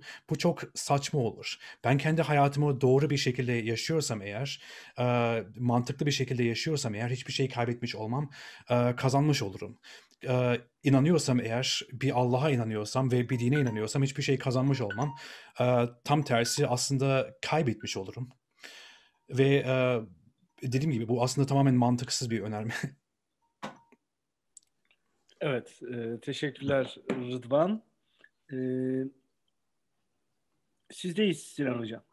Rıdvan'ın hemen hemen bütün söylediklerine katılıyorum. Zira Tanrı'nın varlığı üzerine böyle bir şey yapmak gerçekten saçma bir argüman. Ama cümleyi biraz önceki tabii başa atıf yaparak değiştirecek olursak Allah'a inanan kişi ne kazanır, Allah'a inanmayan ne kaybeder? Eğer İslam'daki Allah tanımını gerçekten olması gereken Allah tanımını alırsak Allah'ı fark eden kişi ki bu İslam'da e, şehadet denir buna şahit olmak, Allah'ın varlığını fark etmek demektir bu. Fark eden kişi kendini bulacaktır ve bu dünyayı aynen Rıdvan'ın arzu ettiği gibi e, yaratılışına, yapısına uygun, akıllı, mantıklı ve e, uygun bir şekilde yani uyumlu bir şekilde yaşayacaktır. Allah'ı fark edemeyen insan yani kendinden uzak düşen, kendi zanları içinde yaşayan, kendi tanrılarına, ilahlarına tapan insan ise kendini bir vicdani ya da efendim e, şeyine yapısına aykırı yaşam ateşi içerisinde adına gehinnom kelimesinden gelen cehennemle sembolize edilmiş bir vicdan azabı içerisinde bulacaktır. Ve netice itibariyle Kur'an öğretisinin bize öğrettiği bu cümle bu haliyle saçma ama Allah'ı koyduğunuzda son derece anlamlıdır. Zira bu hangi dine mensup olursanız olun ve insanın gerçekliğine, insanın öz gerçekliğine, Allah ya da Krishna ya da bilmem ne diyorsanız hiç fark etmez. Onunla barışık yaşamanın adı cennet, onunla küs olmanın, onunla e, ona yabancı kalmanın adı cehennemdir. Dolayısıyla bu bağlamda baktığınızda bu cümle belki bir anlam ifade edebilir ama gökte oturan bir kral gibi devamlı bize ayar veren, işte cezamızı mezamızı kesmek üzere elinde sopayla hazır bekleyen bir tanrı inancı yani bana da gayet çocuksu geliyor. Belki bir e, efendim mitolojik bir filmde ilginç bir karakter olabilir ama bu yaşamın gerçekliğiyle herhangi bir bağdaşır tarafı da yoktur. Evet, buradan hareketle 10 dakikalık tartışma bölümümüze geçiyoruz. Buyursunlar. Ee, Şimdi mesela Tanrı'ya inanan kişinin kazancı olarak sen ne söyledin? Ben istersen oradan sana bir pas atayım. Dedin ki cennet var Tanrı'ya inanan için. Şimdi ne Kur'an'da ne başka bir kitapta sadece inanmak cennette hiçbir zaman garantilenmiyor zaten. Ben aslında onu size sormak istiyorum. Ben şunu sormak Hı. istiyorum size. Ee, bir Tanrı'ya inanmamak e, tam olarak yok Tanrı'ya inanmamaya kısıtlamayın bunu da. Ee, işte sizce ölüm sonrası var mı? Ölüm sonrası bir cehennem var mı? Bir ceza var mı? Yani ölüm öldükten sonra hani kötü bir yaşam sürdükten sonra gidilecek bir yer var mı? Yoksa yaşam sadece içerisinde bulunduğumuz, gördüğümüz, e, tecrübe ettiğimiz yaşamdan mı ibarettir? Kişisel fikrim mi soruyorsun yoksa Kur'an'ı açıdan yorumunu mu? Ya sizin Hayır, inandığınız benim... yani Bence kişisel fikir, inandığınız şey Benim büyük oranda kani olduğum yani dünya tecrübemle bildiğim bir şey var. Büyük oranda buna eminim. Benim bilincim dediğim şey maddi bedenimle kayıtlı değil. Bunu biliyorum ve e, buna yani kuvvetli inanıyorum. Kanıtlarım var bu konuda ve maddi bedenimin bitişinden sonra o consciousness dediğimiz şeyin sona ermeyeceğini düşünüyorum onun sona ermemesinin ise neye sebep olacağını yani öbür taraf dediği şeyin ne olduğu konusunda hiçbir fikrim yok. Gidince göreceğiz. Yani eğer öyle bir yer varsa, öyle bir gerçeklik varsa oraya vasıl olunca herkes görecek. Ben haberle çalışmam ben doğrudan bilebildiğim, bu dünyada gözlemleyebildiğim hadiselerden sonuçlar çıkarırım. Mesela canlılığın yapısı, işte morfogenez, insan bilinci, beyin falan filan üzerine çalıştıkça, bu parapsikik hadiseler şunlar bunlar onlarla ilgili kanıtları senelerdir biz okuyup duruyoruz, bakıyoruz, deneylerine katılıyoruz. Ve görebildiğim bir şey var. Yani bilinç doğrudan maddeden çıkaramadığımız bir şey olduğu için bilmiyoruz nasıl oluştuğunu. Maddeyi aşan bir tarafı olması kuvvetle muhtemel. Zaten fizikte bugün maddenin gözlemlediğimiz kadar olmadığını söylüyor. Benim kişisel fikrim bilinç dediğimiz o varlık maddeyle beraber binişik bir dalga gibi ama madde ortadan kalktığında dalga kaybolmaz biliyorsunuz. Dalganın enerjisi bir şekilde devam eder. Dolayısıyla bir şey olacak ama ne olacağını bilmiyorum. Gidince göreceğim. İslami ya da başka bir dindeki anlatılar ise insanların zamanlarına göre yorumlarıdır. Ya bir Arap Allah aşkına ölümden sonraki ödülü yani böyle bağlı bahçeli ırmaklar akan bir yerden daha güzel nasıl anlayabilir? Yani dolayısıyla ona göre tarif edilmiş bir sistem izliyorsunuz. Ben Halde şimdi Kur'an içerisinde aslında boş boş şeyler, boş sözler. Boş şeyler değil, yöntem var. Yöntem var. Bir araba cennet böyle anlatılıyorsa 21. yüzyıl insanı cenneti nasıl anlamalıdır anlayabilirsiniz. Benim mesela kendimce bir tasavvurum var. Yani mutluluk dediğimiz halin ıı, uç versiyonu, ultimate happiness diyebileceğimiz şey nasıl olur? Buradaki mutluluğu yaşarsanız onu anlarsınız. Buradaki mutluluk ben senelerdir, son üç senedir bunu anlatıyorum. Pozitif psikolojiyle uğraşıyorum çünkü. O yani pozitif nöropsikoloji benim çalıştığım alan. Mutluluk dediğimiz şey insanın yaşadığı hayattan razı olma halidir. Bu mesela bugün Saligman tarafından da böyle tarif edilir. Ne demektir razı olmak? Hayata yeterince yatırım yapmak. Mesela sizlerin aktivist bir tarafınız var. Şimdi o aktivist taraf sizin hayatınızdaki doyumun en büyük kaynağı. Yani bu aktivizmi tabii ne amaçla neye yatırıyorsunuz o ayrı bir konu. Yani ondan ne bekliyorsunuz ayrı bir mesele ama hayata böyle emek yatırdığınız zaman o hayat sizi mutlu ediyor. İşte benim Allah diye çok geç öğrendiğim şey bana bunu öğütlüyor. Diyor ki kendi yaratılışına uygun yaşa. Müzisyen sen müzik yap. Efendim savaşmak istiyorsan savaşçı ol. Ne yapacaksan yani kendini gerçekleştir ve gerçekleştirdikten sonra da eğer bir afterlife varsa bir bundan sonra bir hayat varsa kontağı kapattığında durum nasılsa onun gibi bir şey devam edeceksine benziyor.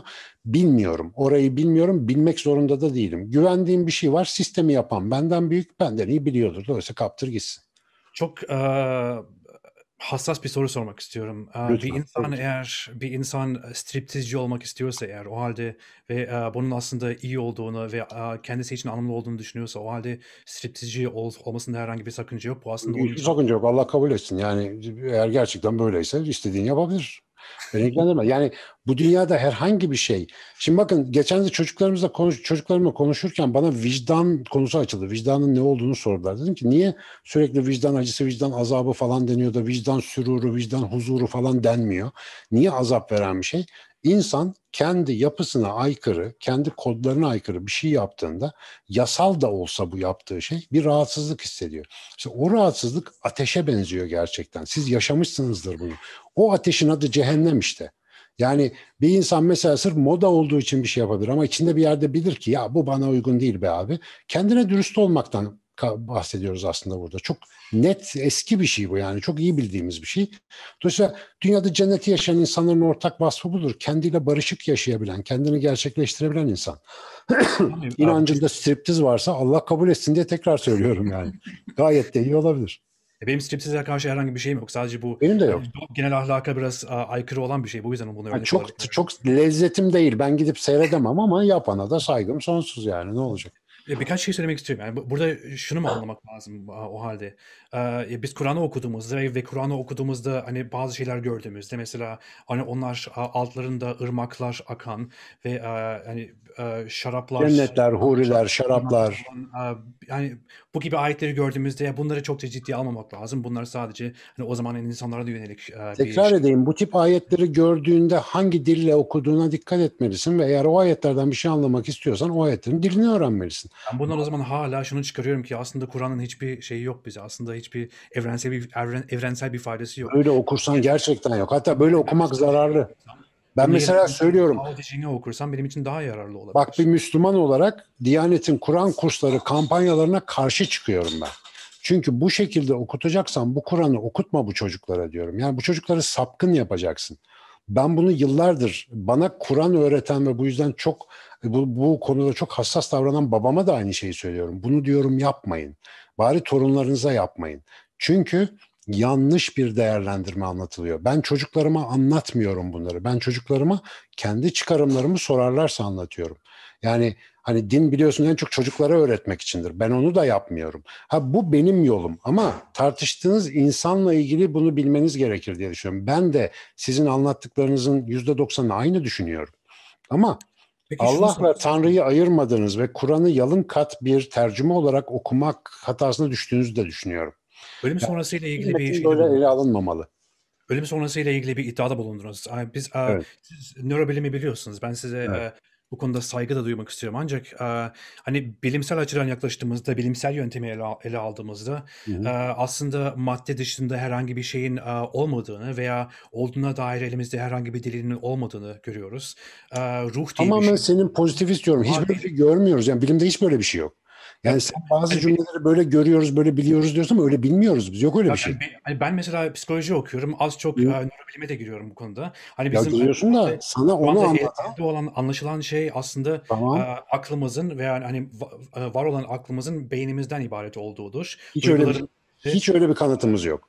Hiç öyle bir kanıtımız yok. Ya bu konuda iki kere Nobel almış adamın kitaplarını oku. John Eccles yani e, işte Inner Self, Evolutionary Brain aç kitaplarını oku.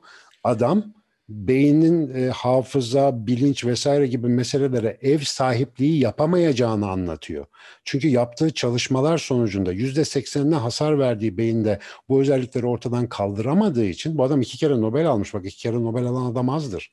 yapamayacağını anlatabilir ama biz şunu biliyoruz mesela hani e, beynin bazı bölümlerini yok ettiğimizde mesela e, hatıralarımız yok olur. Bazı Okey. bölümlerini yok ettiğimizde e, kişiliğimiz Rıdvan'cığım ben bu monitörün sağ alt köşesini kesip çıkarırsam da senin görüntün gider mesela. Şu köşeyi çıkarsam bir ama bu monitörün senin senin bu monitörden kaynaklandığını göstermez. Ara yüz diye bir mesele var. Bak sabret e, senin oradan e, Amerika'dan Donald Hoffman'ı ağırlayacağım Açık Beyin kanalında yakında. Donald Hoffman'la gerçekliğin insan zihni tarafından nasıl üretilip projekte edilen bir şey olduğu teorisini tartışacağız. Dış gerçeklik dedin biliyoruz dediğin şey senin zihninin projeksiyonu kendi bedenin ve varlığın dahil.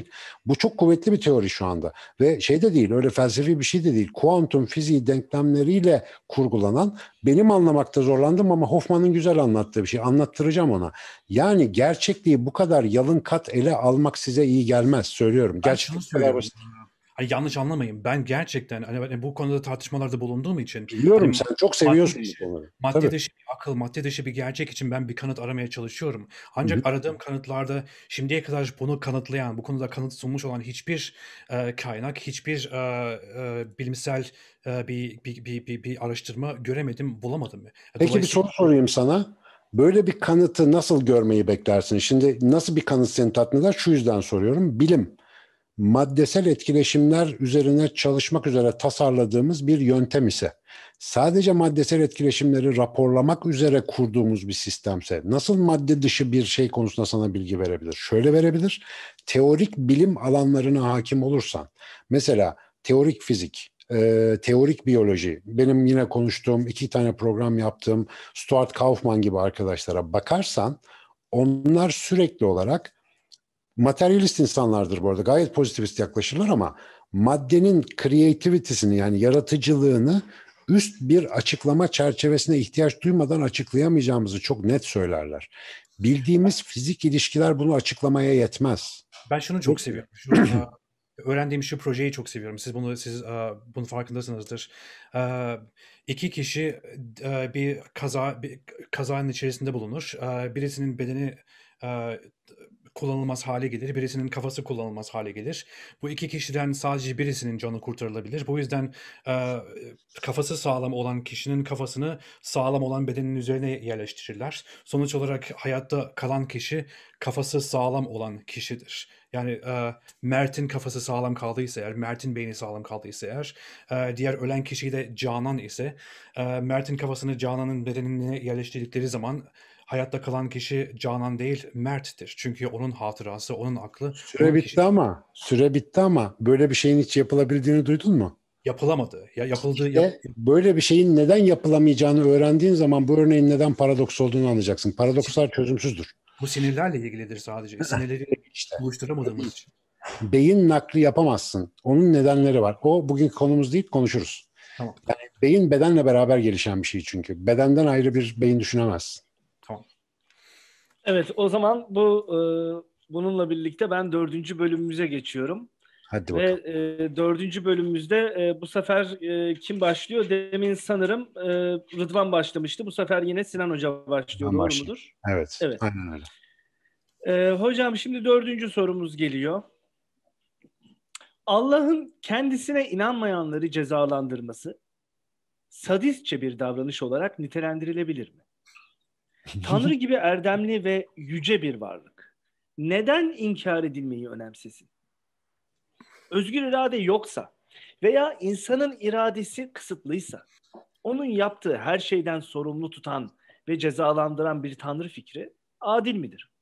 Tanrı insana özgür irade verdiyse, özgür iradesiyle kendi kararını veren bir insanı cezalandırmak, Tanrı'yı egoist ve despot yapmaz mı? Ee, izleyenlerimize bir kere daha hatırlatmak istiyorum. Formatımız gereği ilk iki dakika Profesör Doktor Sinan Canan hocamız konuşacak. Daha sonra iki dakika Apostate Prophet Rıdvan Aydemir arkadaşımız konuşacak ve daha sonra 10 dakika boyunca e, birlikte bu başlığı tartışacaklar. E, Allah'ın kendisine inanmayanları cezalandırması sadistçe bir davranış olarak nitelendirebilir mi? Diyoruz ve buyursunlar. Evet yine Allah diye başladığı için Kur'an'ı ya da İslam'ı referans aldığımızı düşünerek cevap veriyorum o bağlam içerisinde. Kur'an'ın hiçbir yerinde bu cümleyi yavaş söyleyeceğim ki insanlar açıp online şeylerden baksınlar. Allah'a inanmamanın, ateist olmanın, e, efendim cezası yoktur. Hatta şirk koşmanın da cezasından bahsedilmez. Kur'an'da cezası olan şeyler sadece toplumsal sorunlardır. Zina gibi, hırsızlık gibi insanlara karşı işlenen suçlardır. Tekrar ediyorum, this is an open challenge. Please open up your Quran books and find out e, Allah'a inkarla yaklaşmanın hiçbir cezası yoktur. Kur'an'da iki tane tabir geçer. Biri kafir, biri müşrik. Kafir inanan ama inandığıyla gerçek Allah e, bilincinin üzerine örtenlere denir. Örtücü demektir kafir. Kur'an'da bahsedilen kafirlerin tamamı Kabe'yi tavaf eder, namaz kılar, ibadetleri vardır, putları vardır, tanrıları vardır, Allah bir derler. Kur'an'da bahsedilen kafirlerin Ebu Cehil dahil olmak üzere hepsi aynı gruptandır. Kur'an'da inanmayan hiç kimseden bahsetmez. Ateist yoktur Kur'an'da. Müşrik dediği ise yine inanan ama inancına ortak arayandır. Yani bu işi Tanrı yapar ama bu mal benimdir. Ben Tanrı adına malı harcamam. O bana işte bunu söyleyemez gibi kendini Tanrı'ya ya da başkasını Tanrı'ya ortak koşandır. Kur'an'da Tanrı'yı inkar etmenin, daha doğrusu Kur'an'da Tanrı yoktur. Allah'ı inkar etmenin hiçbir cezası yoktur. Böyle bir cezadan bahsedilmez. Bu cezayı Zeus'tan beri gelen çok tanrılı dinlerin anlatılarını bir şekilde adapte eden e, İslam, Hristiyanlık, Yahudilik gibi e, geleneklerin e, yazarları iddia ederler ve bundan dolayı da İslam'ı kökten yanlış anlamamıza sebep olan bir durum oluşur. Zira İslam'a girebilmek için önce bütün tanrılara inanmayı reddetmeniz gerekir. Tekrar hatırlıyorum, giriş kapısı böyle olan bir inanç, inanmıyor diye kimseye zulmetmez. Düşünsene tam gireceksin, e, hepsini inkar ettin, o sırada öldün. E ne yapacağız şimdi? Yani e, arkasından bulacaktı falan. Dolayısıyla böyle bir hikaye yok. Tanrı'ya ortak koşmaktır en büyük problem. Evet Rıdvan, senle devam edelim. Evet, e, ben tam bu konuyu ben sürenin sadece iki dakika olduğunu unutmuşum. Ben bir yandan, bir yandan başka bir şey e, araştırıyordum Sinan Bey'e daha sonra cevap vermek için ama. evet, şey e, şirk şirk mi şey cezasını mı arıyordun? Madem böyle bir challenge yaptınız ben de bari bari challenge açık. Yani bakabilirsin. tamam o zaman süreni şimdi başlatıyorum iki dakikada. Tamam başlat. Buyursunlar. Ee, dediğim gibi ben zaten Sinan Bey'in bunu konuya tamamen katılmayacağını bekliyordum. Yani Sinan Bey tam olarak uh, inanma, inanmamanın sonucu uh, sonsuz bir cehennem cezasıdır diye bir uh, öneride bulunmaz. Ancak ben bu konuda şunu merak ediyorum. Uh, inanmamanın cezası tam olarak ne olabilir? İnanmamanın cezası yoksa eğer hiçbir şeyin cezası var mıdır? Sinan Bey bu konuda sadece hani bir düşüncelerim var, bir hissim var. Kanılarım var, varsay varsayımlarım var demiştir daha önce. Şimdiye kadar kesin olarak bir şey söylememiştir. Ee, bu, bu bana bana göre hava hoş. Bana göre hava hoş ama insanların çoğu buna e, katılmayabilir. Bu konuda Kur'an'da da bir sürü şey vardır. E, tersleş, tersleşen konu vardır bununla ilgili. Ben e, şu iki dakikanı bitireyim ondan sonra bunu tartışırız. E, ya dolayısıyla Son iki cümleni tekrar edebilir misin? Sesin kesildi, görüntün dondu. Son iki cümleni tekrar alalım. Eee bu konuyu tartışırız daha sonra ancak Kur'an'da bununla ilgili hani Sinan Bey'in söylediğiyle ilgili tersleşen bir sürü uh, şey vardır, bir sürü delil vardır. Mesela inanmayanların veya farklı dinlere inanan kişilerin uh, cehenneme gideceği ve, ve ebedi olarak cehennemde kalacağı ve orada cezalandırılacağı ile ilgili uh, ayetler vardır mesela. Kur'an'ın herhangi bir şeyi yoksa eğer, bu açıdan herhangi bir faydası yoksa o halde ahlak dışında da herhangi bir faydası yok. Aslında bize hiçbir faydası yok. Ben Kur'an'ı okumak yerine dediğim gibi daha az, az önce de örnek verdiğim gibi Dao De Jing dediğimiz Çince olan kitabı okurum. Benim için daha iyi olur. Ben Daoizme çok ilgi duyarım. Daoizmde de bir Kur'an anlayışı yoktur. Tam tersi şey vardır. Dünyada bir düzen var. Bu düzene uyum sağlamak, bu düzenle beraber hareket etmek, kendimiz için hareket etmek, iyilik için hareket etmek gibisinden bir düşünce vardır. Ben onu da takip edebilirim. Kur'an'a hiçbir ihtiyacım ihtiyacım yoktur aslında. Ee, soruya Sinan Bey'den bağımsız olarak cevap vermek istiyorsak eğer sonsuz e, inanmamak için sonsuz bir ceza almanın e, hiçbir mantığı yok. Aslında tamamen adaletsiz olan, e, çok gaddarca olan bir şey. E, Allah dediğimiz bizi yaratan e, varlığın bir affetme yetisine, bir affetme isteğine sahip olması lazım. Buna sahip olmaması çok acımasızca, e, mantıksızca bir şeydir. Süremi açtım mı bilmiyorum ama. Gayet güzel. Yok hayır devam. Ee, şimdi 10 dakikalık bölümümüze geçebiliriz. Şimdi fayda dedin biraz önce. Bunun bana bir faydası yok. Daha yüzümü okuyabilirim. Bence de okuyabilirsin. Neden faydalanıyorsun? O senin için en faydalısıdır ama e, Kur'an'ın e, faydası net olarak eğer biraz benim önerdiğim taraftan bakabilirsen ki benim önerdiğim taraf benim uydurduğum bir taraf değil. İslam'da şu anda bastırılmış ama bir dönem çok yaygın olan bir damardır. Yani şu anda e, süre giden sünni kültür tarafından kafir diye dışlanmış bir e, clean yorumudur bu söylediğim. E, işte bir dönem mutezile falan filan denen yorumlardır bunlar. Hı hı. Arap toplumunda e, Kabe'nin koruyucusu olan Kureyş'te dahil olmak üzere o Araplar döneminde serveti elinde tutan bir grup insana karşı devrimci Muhammed diye bir insan geliyor ve diyor ki sizin tanrılarınız bunlar değildir. Siz bu malın sahibi değilsiniz. Bu bölüşümü insanlar arasında yapmalısınız. Elinizdekinin fazlasını vermelisiniz ve tek olan aslında tek yanlış bir çeviri yegane olan Allah'a iman etmelisiniz. Yani bütün bu aracıları, gücü, kuvveti, siyaseti bırakmalısınız diye bir öğüt getiriyor.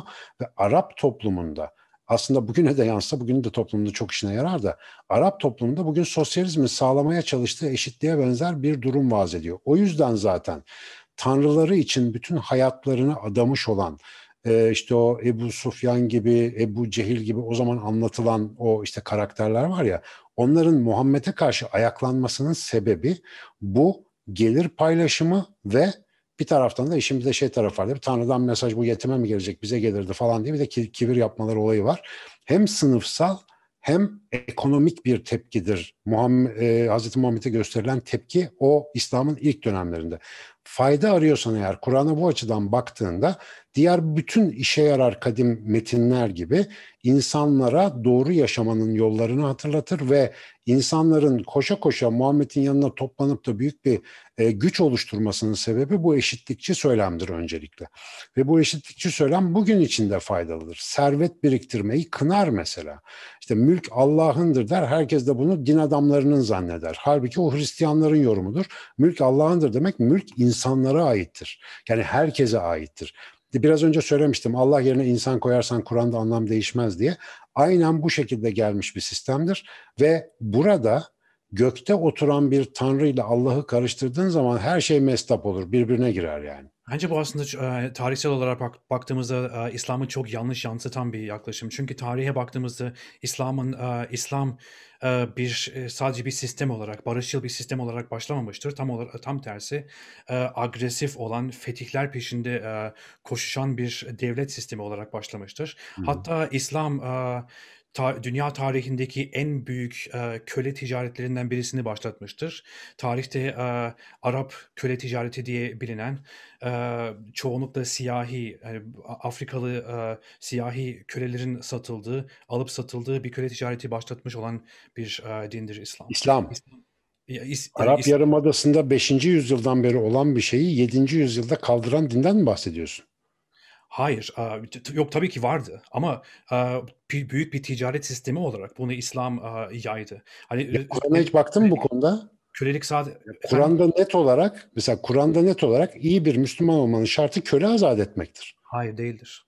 Nasıl ya? Ya Kur'an'ın her yerinde var Kur'an, bu. Kur'an sadece Kur'an sadece bunu bir şey olarak, bir iyilik olarak veya bir kötülüğün karşılığı olarak e, yani köleliğin hani yapın köleliğin, demez, yapmanız gerekiyor demez. Hatta, köleliğin cep telefonu sahibi olmak kadar doğal olduğu bir toplumda bir insana Allah'a yakın olmak için köle azat et demek ne demektir?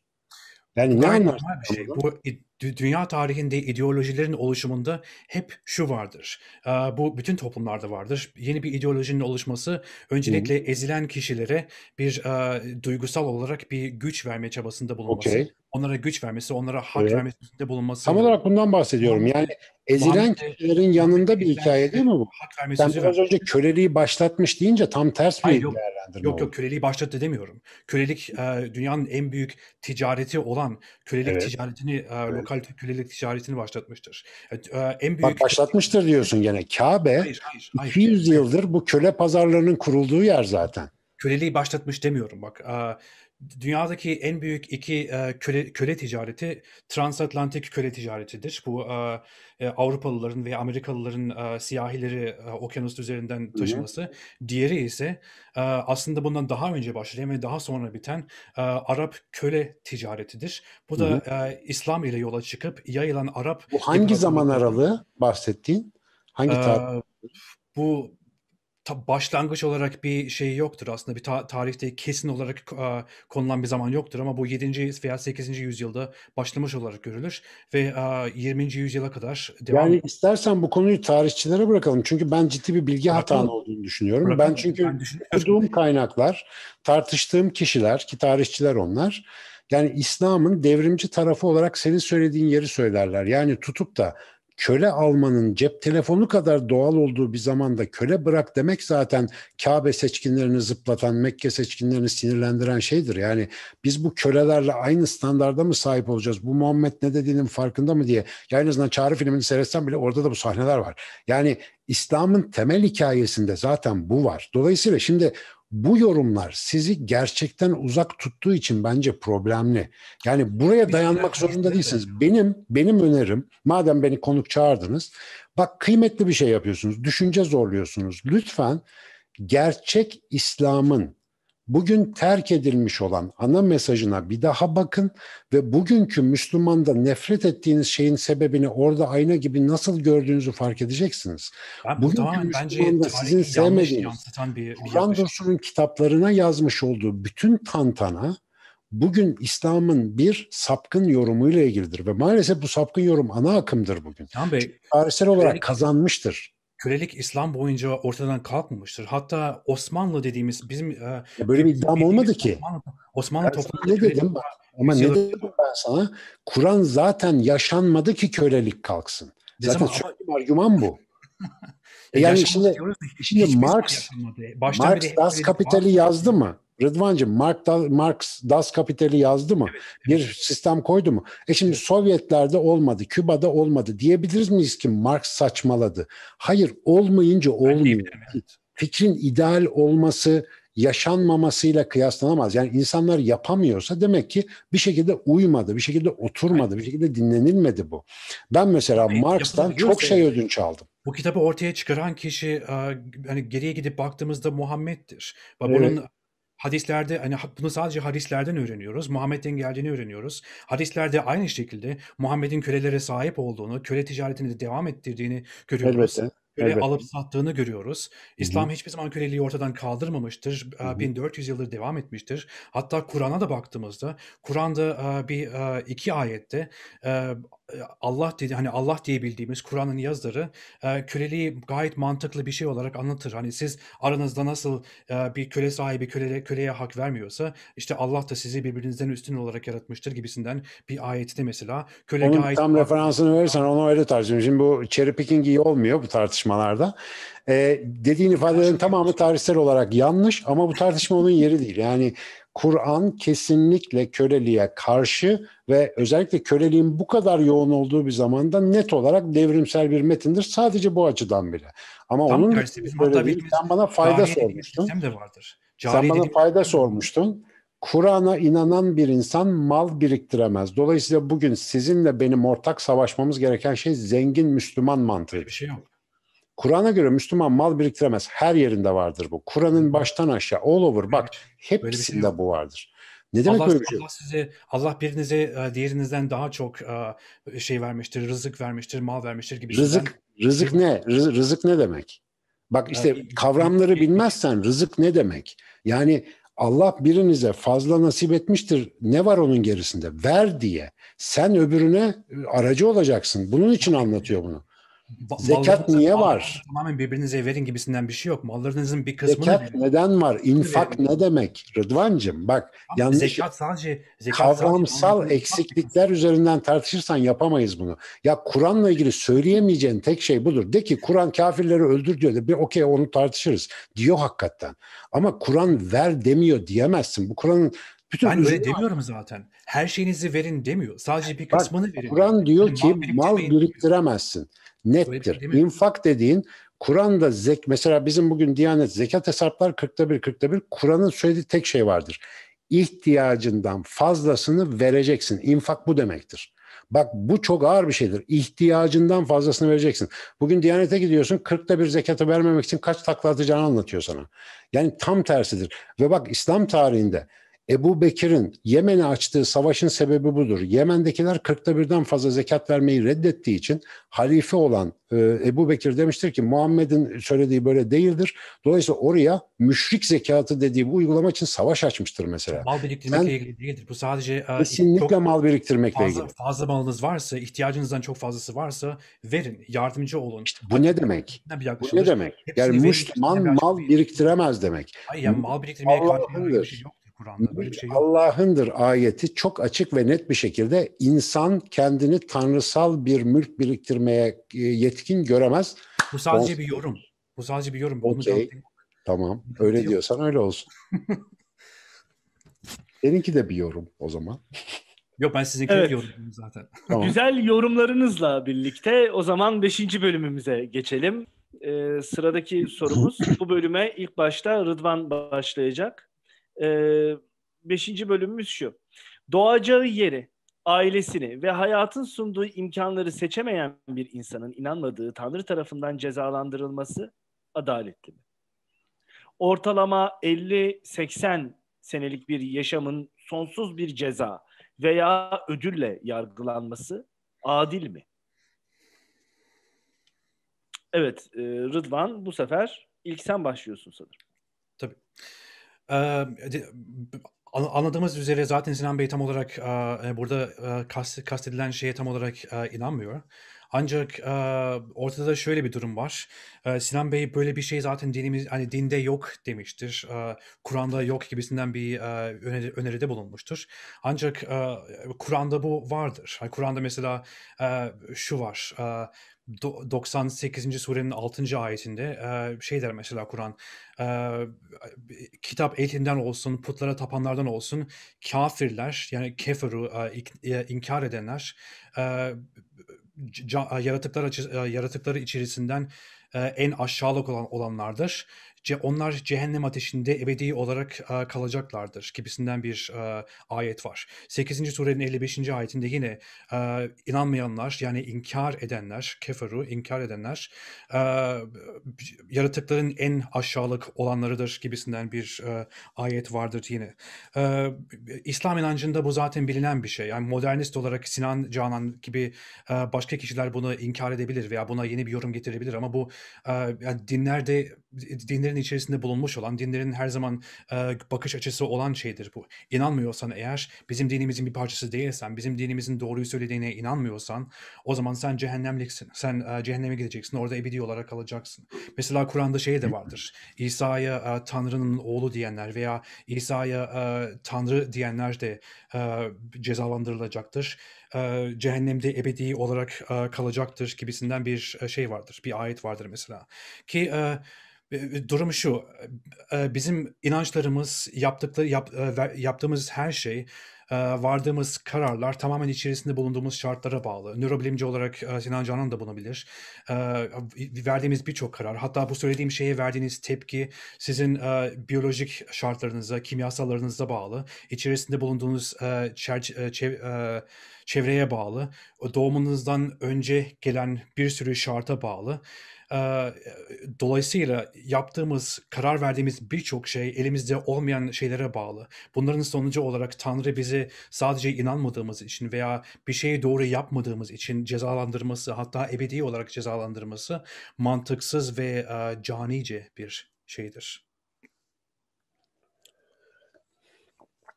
Doğru söylüyorsun valla. Tamam bir münazara da doğru söylüyorsun valla diye. Yo, zaten e, hepsi doğru. ya sorun şu ki kelimelerin anlamlarını yanlış veriyor her zaman. Mesela Kur'an'da ben biraz önce söyledim inanmayana ceza yoktur diye aynı şeyi tekrar etti. Kafir inanmayan demek değildir Rıdvan. Kafir... Sürenizi başlatıyorum bile, hocam bu arada. Başlat. Kafir bile isteye gerçeğin üzerine örten demektir. Bildiği halde üstünü örtmek demektir yaşadığı halde çıkarına uymadığı için bunun üstünü kapatmaya çalışan, gizlemeye çalışan demektir. Ve bugünkü Müslümanların da, Hristiyanların da, Yahudilerin de çoğunu kapsar. Birçok din inancına sahip olan insan kafir sistemine girer Kur'an'ın ifadesiyle. Çünkü mesela neden İsa'yı Tanrı'nın oğlu olarak kabul edenler günahkar kabul edilir? Çünkü Tanrı'ya ortak koşmaktadırlar. Yani onlar Tanrı'nın birliğine, yeganeliğine ortak atamaktadırlar. Buna müşriklik denir Kur'an'da. Aynı zamanda kafirlikle beraber bu insanlar cehennemle tehdit edilir. Cehennem, cehennem biraz önce söyledim. İnsanın tabiatına inanması gereken orijinal ayarına zıt bir hayat yaşamasından kaynaklanacak çekeceği acılara vurgu yapılır. İster öbür tarafta düşün, ister bu dünyada düşün. Çekeceği bütün acıların hem insan hem insanlık olarak kaynağı bu örtme, bu ortak koşma davranışı gösterilir. Şimdi e, insanın hayatında hiç seçemediği bir şeyler için cezalandırılması hiçbir mantığa uygun değildir. Bundan dolayı da zaten insan inancı ya da inançsızlığıyla cezalandırılmaz. Ama biraz önce söylediğim gibi kendi varlığını bilmeye dahi merak uyandırmayan, aklı olduğu halde kullanmayan, bunu etrafına, doğasına, insanlığa bakarak kendi aydınlanma yolculuğunda adım atmayan insan büyük bir azap içerisindedir. Biz bunu zaten her gün görüyoruz. Bugün Twitter'daki trollden bilmem neredeki arkadaşa bak azap içinde insanlar kıvranıyorlar.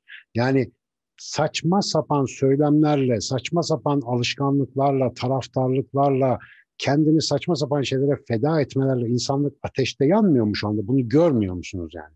Dolayısıyla bunun sakinleşebilmesinin en önemli yolu bütün bu tanrısal iddiadaki bana hükmetme iddiasındaki her şeyi reddetmek, dışsal bütün tanrıları inkar etmek bu İslam'da farzdır. arkasından da geriye kalan şeye yani kendi varlığının özüne teslim olmaktır. Buna da iman etmek denir. Teslim olana da İslam denir. Geriye kalan şeyin adına da Allah diyoruz İslam inancında. Bu İslam inancının özüdür. Benim yorumum değildir. İsterseniz koskoca tasavvuf literatürüne bakın, isterseniz e, mutezile literatürüne bakın. Hepsinde bu anlatıyı göreceksiniz. Diyanetle çok fazla teşriki mesaiye girmişsiniz. Tavsiye etmiyorum. Ben Sünni İslam'ın yorumunu benimsemiyorum. Size de tavsiye etmem. İşlevsel değil çünkü. Evet hocam. E, süreniz sona erdi. O zaman e, buradan hareketle 10 dakikalık bölümümüze geçebiliriz. Ben aslında Diyanet'in yorumuna hiç, hiç inanmıyorum. Diyanet'e de Benim güven... bütün söylediklerim Diyanet. Başka bir şey söylemiyor musun? Yok, ben, ben Diyanet'e hiç bakmıyorum. Ben sadece e, Kur'an'ı okuduğumda Kur'an'da Ya- yazanlara bakıyorum. Diyanet'i kim çe- yani Kur'an'ı kim çeviriyor? olarak- Yok ben Türkçe olarak ben Türkçe olarak okumuyorum ki Kur'an'ı zaten. E, tamam o fark etmez. Yani İngilizler nereden çeviriyor zannediyorsun? Hani İngilizcesine bakarım, etimolojisine Tamam. bakarım, Arapçasına. Okey. Aa, mesela.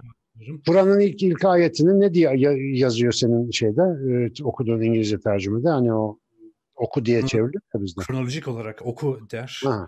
Mesela Ha. İngilizce'de read diye çevriliyordur Evet, muhtemelen. evet. Ama öyle değildir işte. Gerçek İngilizce çevirilere bakarsın Arapçadan direkt çevrilenlere o kelimenin çevirisi recite'dir.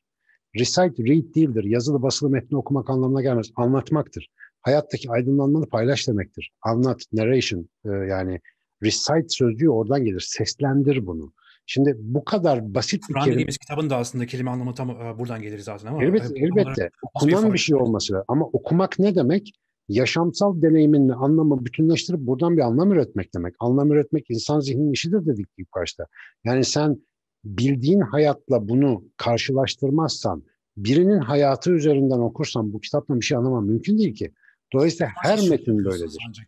Abi tarihe baktığımızda ben tarihe baktığımda mesela e, Kur'an'ı olsun veya başka dini kitapları olsun yorumlamış bir sürü kişi vardır. Bunların birçoğu kendisine Elbette. imam der, hoca der, şeyh der, şu Aynen der, öyle, der. aynen öyle. Benim cevabım doğrudur der. Siz de bunların arasından yani milyonlarca kişinin arasından benim cevabım aslında doğru olandır diyen Hayır, tek değilim Rıdvan. Yanlış yorumluyorsun. Hayır yok biliyorum onun, onun farkındayım. insan var böyle düşünen. On binlerce insan var böyle okuyan. Tamam bu şekilde Burada önemli olan varsa- Senin bahsettiğin o milyonlarca doğru. Fazla sayıda insan benim zıttımı söylüyor ama Kur'an bizzat bunu anlatıyor. Diyor ki onlar, da onlara- bunu- onlar da aynı iddiada bulunuyorlar. bak Kur'an bunu anlatıyor diyorum sana. Kur'an diyor ki Tevrat geldi, İncil geldi, Zebur geldi. Hepsini aynı şeyi yaptılar. Mesajı aldılar, heva ve heveslerine uydurdular. Kendilerinin bildiği gibi yaptılar. Allah'ı yere indirdiler. Bunu bizzat anlatıyor. Ve bugün İslam da bunu yaşayacak diyor ve yaşıyor. Yani Peki Kur'an için ne diyor? Kur'an'ı hiç kimse bozamayacaktır. Allah Kur'an'ı koruyacaktır. Evet, aynen bu şekilde söylüyor. Kur'an korunacaktır. Peki Kur'an nasıl korunacaktır? Kur'an'ın içerisinde referans verilen bütün referanslara bak. Yani Kur'an referans veren bir kitaptır. Verdiği referansların hepsi doğal referanslardır. Arıdır, kuştur, böcektir, demirdir, dağdır, yıldızdır. Dışarıya bakmanı tavsiye eder. Çünkü Kur'an açıkça der ki beni anlamak için dünyayı bilmek zorundasın. Eğer kitabın bu felsefesini kaçıracak olursan sen falanca hacının tercümesinden çevrilen bir şeyi bana Kur'an diye getirirsin. Ben de derim ki üzgünüm yani o değil benim inandığım kitap. Çünkü benim inandığım kitap yaşamla bilgiyle tercümedir. Bir sonraki soruda var zaten. Bir sonraki soru onun üzerine konuşacağız.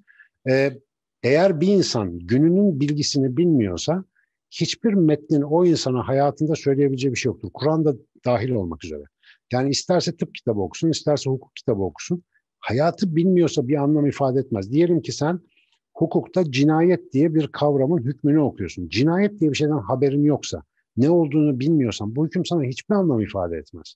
Dolayısıyla bunun sana bir anlam ifade etmesi senin anlam dünyanla alakalıdır. Siz Kur'an'ın e, Kur'an'ın e, insanüstü bir kaynaktan geldiğine inanıyor musunuz? Buna İnanıyorum tabii ki. Tabii tabii inanıyorum. Peki insanüstü bir kaynaktan Muhammed'e geldiğine inanıyor musunuz? insanüstü derken o senin anladığın anlamda değil. Gökten böyle falan gelme değil.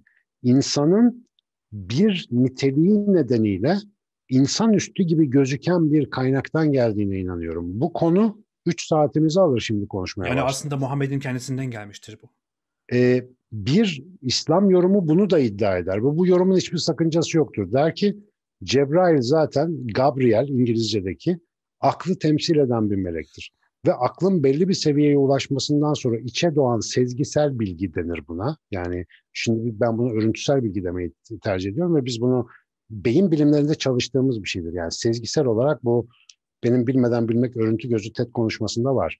Tak diye algılama sistemimiz. Bu algılama sistemi bir anda bilginin ayan olması ve açılması gibi tarif edilir eskiler tarafından. Ve peygamber denen insanların bir özel durumu var. Onun ne olduğunu bilmiyorum. Bu özel durum nedeniyle böyle bir bilgiye mazhar olduğunu söyleyen de var. Bak bu benim bilmek zorunda olduğum bir şey değil. Benim size geçen seferde söylediğim bir açık challenge var. 1400 yıl önce çölde oturan bir adamın yazdığı bir kitap. Nasıl oluyor da bugün dünyanın herhangi bir nesnel gerçekliğiyle çelişmiyor? Bilimsel hiçbir gerçekliğiyle çelişmiyor ve yarısından çoğu bilimsel konularla geçiyor. Rıdvan dikkat et. Ben bu konuya 20 senemi ayırdım. Ben, 20 ben sene de... ben senden daha ateist baktım Kur'an'a ve Kur'an'daki hiçbir ifade bir kere Kur'an'da bilimsel bilgi yok. Enteresan Var. olan o. Yok. Bilimsel Var. bilgi yok. Ya, Kur'an mesela ama şundan bahseder. Kur'an, buna bir program yap tartışalım. Yıldızlar, yıldızlar, Allah yıldızları en yakın gökte veya dünyanın göğünde hı hı. işte yıldızları lambalı olarak süs, süslemiştir ve bunları ayrıca bir koruma olarak yaratmıştır. Onları şeytanlara atar gibisinden bir şey var, bir, bir anlatım var. Yani bunun evet. bilimsel bir bu bilimsel bir şey değilse, bir iddia değilse o zaman tam olarak nasıl bir iddia? Bunun Sen yıldızların, yıldız denen kelime olan Tarık'ın mesela Tarık'ın ne olduğunu biliyor musun? Oradaki kelime... İşte oradaki bunu böyle tartışamazsın. Sen onu yıldız diye çeviriyorsun. O yıldız değil. O kelime Tarık'tır. Tarık aynı zamanda tarikat yani yol demektir.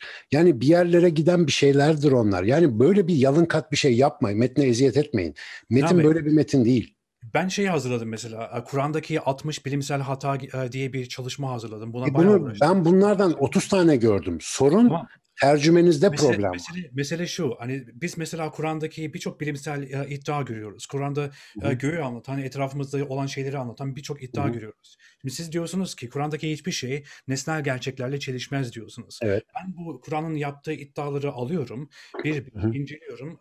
Bak, Sen Kur'an'ın yaptığı iddiaları almıyorsun, Kur'an tercümelerinin yaptığı iddiaları tamam, alıyorsun. Tamam, tamam, bir dakika bitireyim. Bu çelişiyor, bu çelişmiyor diye bir e, liste ortaya koyuyorum. Nasıl çeliştiğini e, açıklıyorum ama sizin yaptığınız cevap olarak şu. Tamam e, bu senin anladığın kadarıyla doğayla çelişiyor ama o aslında senin bak, bak Tarık diyor, sen yıldız diyorsun. Ben sana diyorum ki şu anda Google'a gir, Tarık kelimesinin diğer anlamlarına bak diye sana bir metodoloji öneriyorum. Sen benim boş bir iddia yaptığımı zannediyorsun ama Yok, Tarık, buradaki, buradaki sadece, bu arada Kur'an'da 3 ya da 4 tane yıldız anlamında kelime geçer. Sadece biri Tarık'tır. Ben galiba Tarık masabihten bahsettim. Masabih kelimesinden bahsettim. Neden bahsettin? Masabih kelimesi. O, o da ayrı. Ama bak Tarık yıldız diye çevrilir ve yıldız diye çevrildiği ayetlerde hiç yıldızla alakası yoktur. Bunu anlatmaya çalışıyorum. Esas anlam yıldızla ilgili değildir. Şimdi bu bir metodoloji önerisidir. Bu bir iddia değildir. Bu son derece tabii olarak mesela ta işte bütün çeviri yani bilimlerin bilimi denir çeviriye. Çünkü dili bir başka dilden başka dile tercüme etmek çok korkunç bir şeydir. Ve bu ihtimam ister. Sen ki bir kısım insanın Allah'ın mesajı diye inandığı bir şeyi Google kadar bile özenmeden çeviriyorsun. Bu olmaz. Yani en azından o insanlara saygı göstermezsen o insanlar da senin ne dediğini anlamazlar. Benim derdim diyalog. Mesela olası bütün anlamları şey yaparsan. Mesela sen İslam'da dediğim gibi sadece sünni yorumu ele alıp onu değilliyorsun. Onu ben de değilliyorum. Bence siz e, siz Ama aslında... bak benim söylediğim şeyi sadece benim söylediğimi zannediyorsun. Öyle değil işte. Yok, Böyle bir damar zannet, var. Zannetmiyorum. Ya ben zaten e, milyonlarca e, insanın söylediği şeyle de tamamen okay. ya ama böyle bir dal da var. Sen senden buna hiç referans görmememin sebebini merak ediyorum. Sen niye Ali Şeriat'e hiç atıf yapmıyorsun? Ali Şeriat'ı senden ateist. Oku bak göreceksin. Sen onun kadar ateist olamıyorsun. Çünkü yani sen bence, bence prophetsin ama o, o lakap Ali Şeriat'e ait. Bence yani sizin Kur'an'ı okuyup da Kur'an'da bir e, bir gerçeklik arama e, çabanız var. Ben gerçeklik, gerçeklik aramıyorum Rıdvan. Arama çabası beni, da... beni bir mindere çekiyorsun. Ben Kur'an'ı açıp okumasam benim hayatımdan bir şey eksilmez. Ama sen Kur'an'a böyle yaklaştığın zaman gerçekten uzak düşüyorsun. Sinan ben Bey, siz Yunan mitolojisini de Yunan mitolojisinde Kur'an'daki Abdülkadir Geylani'yi de Said Nursi'yi de Karl Marx'ı da Nietzsche'yi de böyle okuyorum. Ben tamam, diyorum ki bu adam bana ne katar? Siz şunu diyorsanız ki eğer Kur'an'daki hiçbir şey dünyadaki nesnel gerçeklerle çelişmiyor diyorsanız eğer o halde evet. Kur'an'a e, neredeyse doğaüstü mükemmellik yüklüyorsunuz. Hayır. Öyle bir şey Sadece mümkün. diyorum ki Kur'an'ın bilimle işi yok. Kur'an bilimsel herhangi bir konuda seni ikna etmek için yazılmış bir kitap değil. Kur'an doğru hayat yaşamanın, toplumsal barışın, içsel barışın yolunu anlatan ve buna dair hikayeleri bir araya getiren bir uyarı. Bu kadar. Bilimden uzaklaşalım. O zaman sizin iddianız yine de şu. E, Kur'an'daki hiçbir şey nesnel gerçeklerle çelişmez. E, dolayısıyla bu şu demektir. Kur'an yaptığı bütün iddialarda, her iddiada tamamen doğrudur. Hiçbir yanlışı bak, yoktur. çelişmez. Bak benim söylemediğimi söyleme. Doğru diye bir şey söylemedim insanın bildiği bu budur dediği bir şeyle açık çelişki göstermesi lazım. Sorun şu. Adamın biri çölde kitap yazıyor. Her şeyden bahsediyor. 600 sayfa. Ya bir şeyde de çeliş be kardeşim. Mesela şey gibi olsun. Bu e, Kızılderililerin yaratılış mitolojisi gibi bir şey versin elime. Ku kustu, ondan su çıktı, üzerine ağaç bitti desin ben de saçma diyeyim. Öyle bir şey demiyor ki. O zaman Öyle size şey göre Kur'an çelişebiliyor ve Kur'an'da hatalar olabilir. Hata ne demek? Hangi hata? Hiçbir yani sen yani. şunun gibi bir hata mı? Sen evreni sabit zannederken bir kitap genişliyor dedi. Sen ona hatalı dedin. Sonra sen Big Bang'i buldun. Genişliyor dedin. Ha kitap doğruymuş dedin. Yani, Bunu mu kastediyoruz? Kur'an nesnel bir gerçekle çelişiyorsa eğer yaptığı bir iddia. Evet. O halde mantıksal, sağduyuya dair bugün bilimsel olarak bildiğimiz şeylerle çelişecek netlikte ifadeleri yok. Ama bunların hepsine gönderme yapıp bir şekilde sıyırmayı başarıyor. Neden? Çünkü prensiplerden bahsediyor sana o günkü insanın da bugünkü insanın da görebileceği düzeyde bir şeyden bahsediyor. Herkesin anlayabileceği bir dille anlatmak zorunda çünkü iddiası bu. Bence Kur'an'ın olağanüstü bir kitap olduğunun en büyük kanıtı budur. Gökten mökten zembille düşmesi değil. Kur'an'ı ilginç kılan. Kur'an e, olağanüstü bir e, hayatı bir açıklama çabasıdır. E, ama sadece bir çabadır. Yani. Öyle diyorsan ne bileyim sen haklısındır. tamam. Bu süreyi bayağı aşmışız farkında değilim. Ama son soruya evet, geldik. Ben e, başlıyorum. bu e, evet e, son soruya geldik. Altıncı bölümümüz, son bölümümüz ve son sorumuzdayız. Evet, e, altıncı bölümümüzün sorusu özetle bilimin insan e, bilimin ve insanlığın İslam'a ihtiyacı var mı? E, ekseninde bir soru. Evet. Sorumuz şu. Sinan Canan'ın İnsan bilimi araştırmalı ve Kur'an'ı ona göre yorumlamalı. Sözünden yola çıkarsak. Eğer insan evreni Kur'an olmadan sadece bilimle açıklayabiliyorsa Kur'an'a ihtiyaç var mı? Kur'an, İslam ve Allah iddiası yanlışlanabilir mi? Let's go. İlk Başlatım. siz başlıyorsunuz. Tamam başlar süremi. Bir kere sözüm yanlış alıntılanmış. Öncelikle onu söyleyeyim. Bu sözün aslı eğer bir insan kendisine Müslümanım diyorsa bilimi anlamalı ve Kur'an'ı da ona göre yorumlamalı. Dolayısıyla bu Müslümanlara söylenmiş bir söz. Bir insan Kur'an'a inandığı zaman benim karşıma ben evrim anlatırken ama çamur nerede maymun falan diye gelirse benden bu lafı duyar. Çünkü ben de Kur'an'ı merkez alan bir inanca sahip olan bir insan olarak böyle bir çelişki görmüyorum. Bunun için nedenlerim var. Bir Müslüman eğer bilimi öğrenirse bu çelişki ortadan kalkar. Müslümanlara e, söylenmiş bir sözdür. Gelelim e, insan evreni Kur'an olmadan sadece bilimle açıklayabiliyorsa ki insan zaten Kur'an olmadan bilimle evreni açıklayabildiği kadar açıklıyor. O zaman Kur'an'a ihtiyaç var mı? Hayır yok. Evreni açıklamak için hiçbir şekilde Kur'an'a ihtiyacın yok.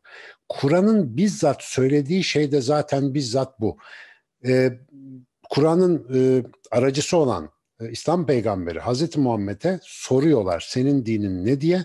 Onun vermesi gereken cevap Kur'an'da şöyle zikrediliyor. De ki ben İbrahim'in dinindenim yani Hanif'im. Peki İbrahim nedir diye Kur'an'a baktığınızda İbrahim mağaradan çıkıp işte e, dünyada e, her şeyin sebebini arayıp önce yıldızlara bakıp yıldıza tapan, onlar batınca işte ay çıkınca aya tapan, ay batınca çıkan güneşe tapan, en son güneş de batınca benim tanrım bunların hepsini yaratan bir şey olmalı deyip soyut bir tanrı kavramına doğru imgelemini kaydıran bir doğa gözlemcisi olarak resmedilir. Yani Kur'an'ın e, anlattığı Allah'ı Kur'an olmadan da tabiatta bulabilirsiniz.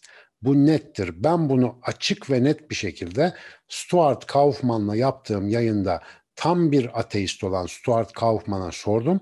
Bana dedi ki ben gökte oturan kişisel bir tanrıya inanamam ama biyosferin yaratıcılığına taparım. Çünkü biyosferin tanrısal bir yaratıcılığı var ifadesini bizzat kullanmıştır. Şu anda yayında açık beyinde görebilirsiniz bu video mevcut. Dünyaya bakan insanın o yaratıcı gücü görmemesi mümkün değildir. Kur'an sadece onunla karşılaşan insanlar için olursa bir kolaylaştırıcı olabilir ama o da doğaya bakmıyorsa, kendini bilmiyorsa ona hiçbir fayda vermeyecektir. Kur'an tek başına kimseyi aydınlatacak bir kitap değildir.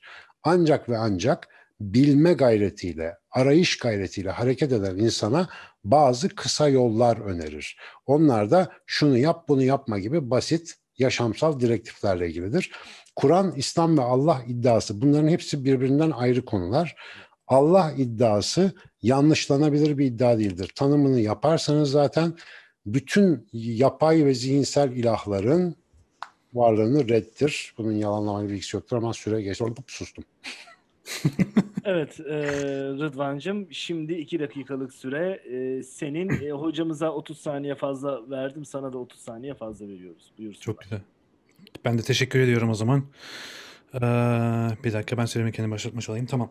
Ee, ya benim şimdiye kadar e, konuştuklarımızdan e, çıkardığım aslında e, sahip olduğum düşünceyi çok fazla değiştirmedi. Ee, bence Kur'an'ın aslında bize hiçbir faydası yok ve Kur'an'a hiçbir ihtiyacımız e, yoktur. Biz e, sadece Sinan Bey e, dahil olmak üzere e, Müslüman toplumları içerisine e, var verdiğimiz için yani doğduğumuz ve büyüdüğümüz için e, Kur'an'ı iyi bir referans olarak veya faydalı bir referans olarak e, görüyoruz, alıyoruz ve tartışıyoruz. Kur'an'ın aslında evrensel olarak evrensel anlamda hiçbir e, önemi yok. Hiçbir faydası da yok. E, Çin'e gittiğimizde, Japonya'ya gittiğimizde, İzlanda'ya gittiğimizde, farklı ülkelere gittiğimizde, Yeni Zelanda'ya gittiğimizde Kur'an'ın bize kattığı ve verdiği hiçbir şey e, yoktur, olamayacaktır da. Günümüz dünyasında hatta e, uluslararası kanunlara ve insan haklarına baktığımızda bize kattığı ve verdiği, e, bizim eksik bulduğumuz ve bize öğrettiği hiçbir şey yoktur. Ya bizim aslında e, yaşamak için, beraber yaşamak için ve mutlu olarak yaşamak için e, Kur'an'a hiçbir ihtiyacımız e, yok e, olmayacaktır da hiçbir zaman. Süresi geçmiştir.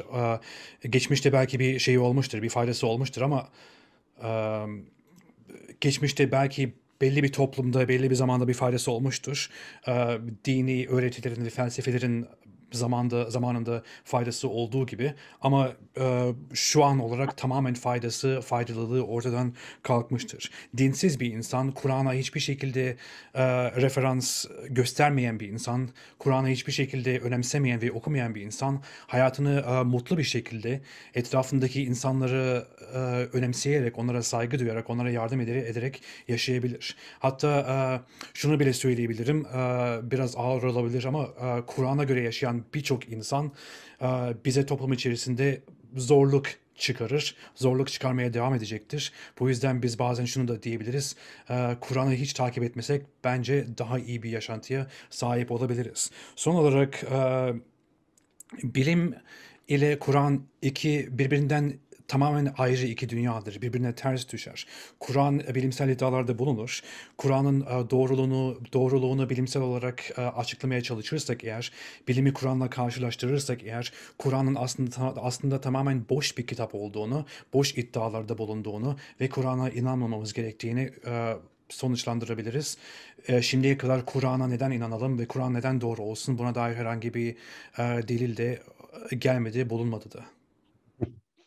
Teşekkürler. Ee, evet şu anda e, son bölümümüzün son e, roundundayız. 10 dakikalık karşılıklı tartışmanız. Benim efendim. anladığım şu, Kur'an'ın Rıdvan'a hiçbir faydası yok, bana faydası var. Benim anladığım budur bu tartışmadan. Dolayısıyla herkes faydalı olan tarafa doğru evrilmesi önemli ama e, Kur'an'ın kimseye faydası yoktur derken beni yok sayması hoş olmadı. Bana faydası oluyor. Mesela ben kullanıyorum onu. Dolayısıyla bana bir faydası var netice itibariyle. Mesela ben bu faydayı nasıl yansıtıyorum hayatıma? Ee, şimdi Kur'an'ın aynen önerdiği gibi. Mesela Kur'an peygambere ne emretmiş? Emrolunduğun gibi dost doğru ol. Hatta peygamber demiş ki bu bu ayet benim saçımı sakalımı ağarttı mesela. Şimdi emrolunduğu gibi dost doğru olmak ne demek? Ben mesela Kur'an'a Kur'an'ın bana olan faydasını nasıl gösterebilirim? Ben 13 yıldır e, Türkiye'nin her tarafını gezerek bu ülkede eksik olduğunu düşündüğüm bir şey. Bilim merakı oluşturmaya çalışıyorum. Bunu Müslüman olduğum için yapıyorum. Bunu bana orada emredildiği gibi dost doğru olma emrinden emrinden anladığım bu olduğu için yapıyorum. Dolayısıyla Kur'an sen boş bir kitap diyebilirsin olabilir okey buna o, tamamım ama Kur'an'ın bana böyle bir faydası var. İçinde yetiştiğim İslam kültürü, benim karşılaştığım İslam yorumu, bana bir şekilde cazip gelen o yorum beni bunu yapmaya zorluyor. Dolayısıyla sırf faydacı, utilitarian bir taraftan bakarsan Kur'an sadece bana faydalı olduğu için bile eğer benim yaptığım iş saygın bir işse saygıyı hak eden bir kitaptır netice itibariyle. Bu arada Kur'an'la ilgili yani Kur'an'ı baz alan insanlar diye bir şikayetin oldu. Ortamda gözüken ve şu anda siyasi olarak hakim olan İslamcılık anlamında söylediklerine sonuna kadar katılıyorum ama Kur'an'a dayanarak bu dünyada harika işler yapan birçok insanı da gömmeni açıkçası esefle kınıyorum. Yani çok çok güzel işler yapan insanlar var. Nice aç doyuranlar var. Nice çocuk öğrenci okutanlar var. Ve bunu sırf hayır olsun, bu İslam'ın emridir diye yapan yani Ali İzzet Begoviç mesela Kur'an'ı kendisi yorumlarken der ki Kur'an'ın sadece iki tane emri vardır. Başka emri yoktur der.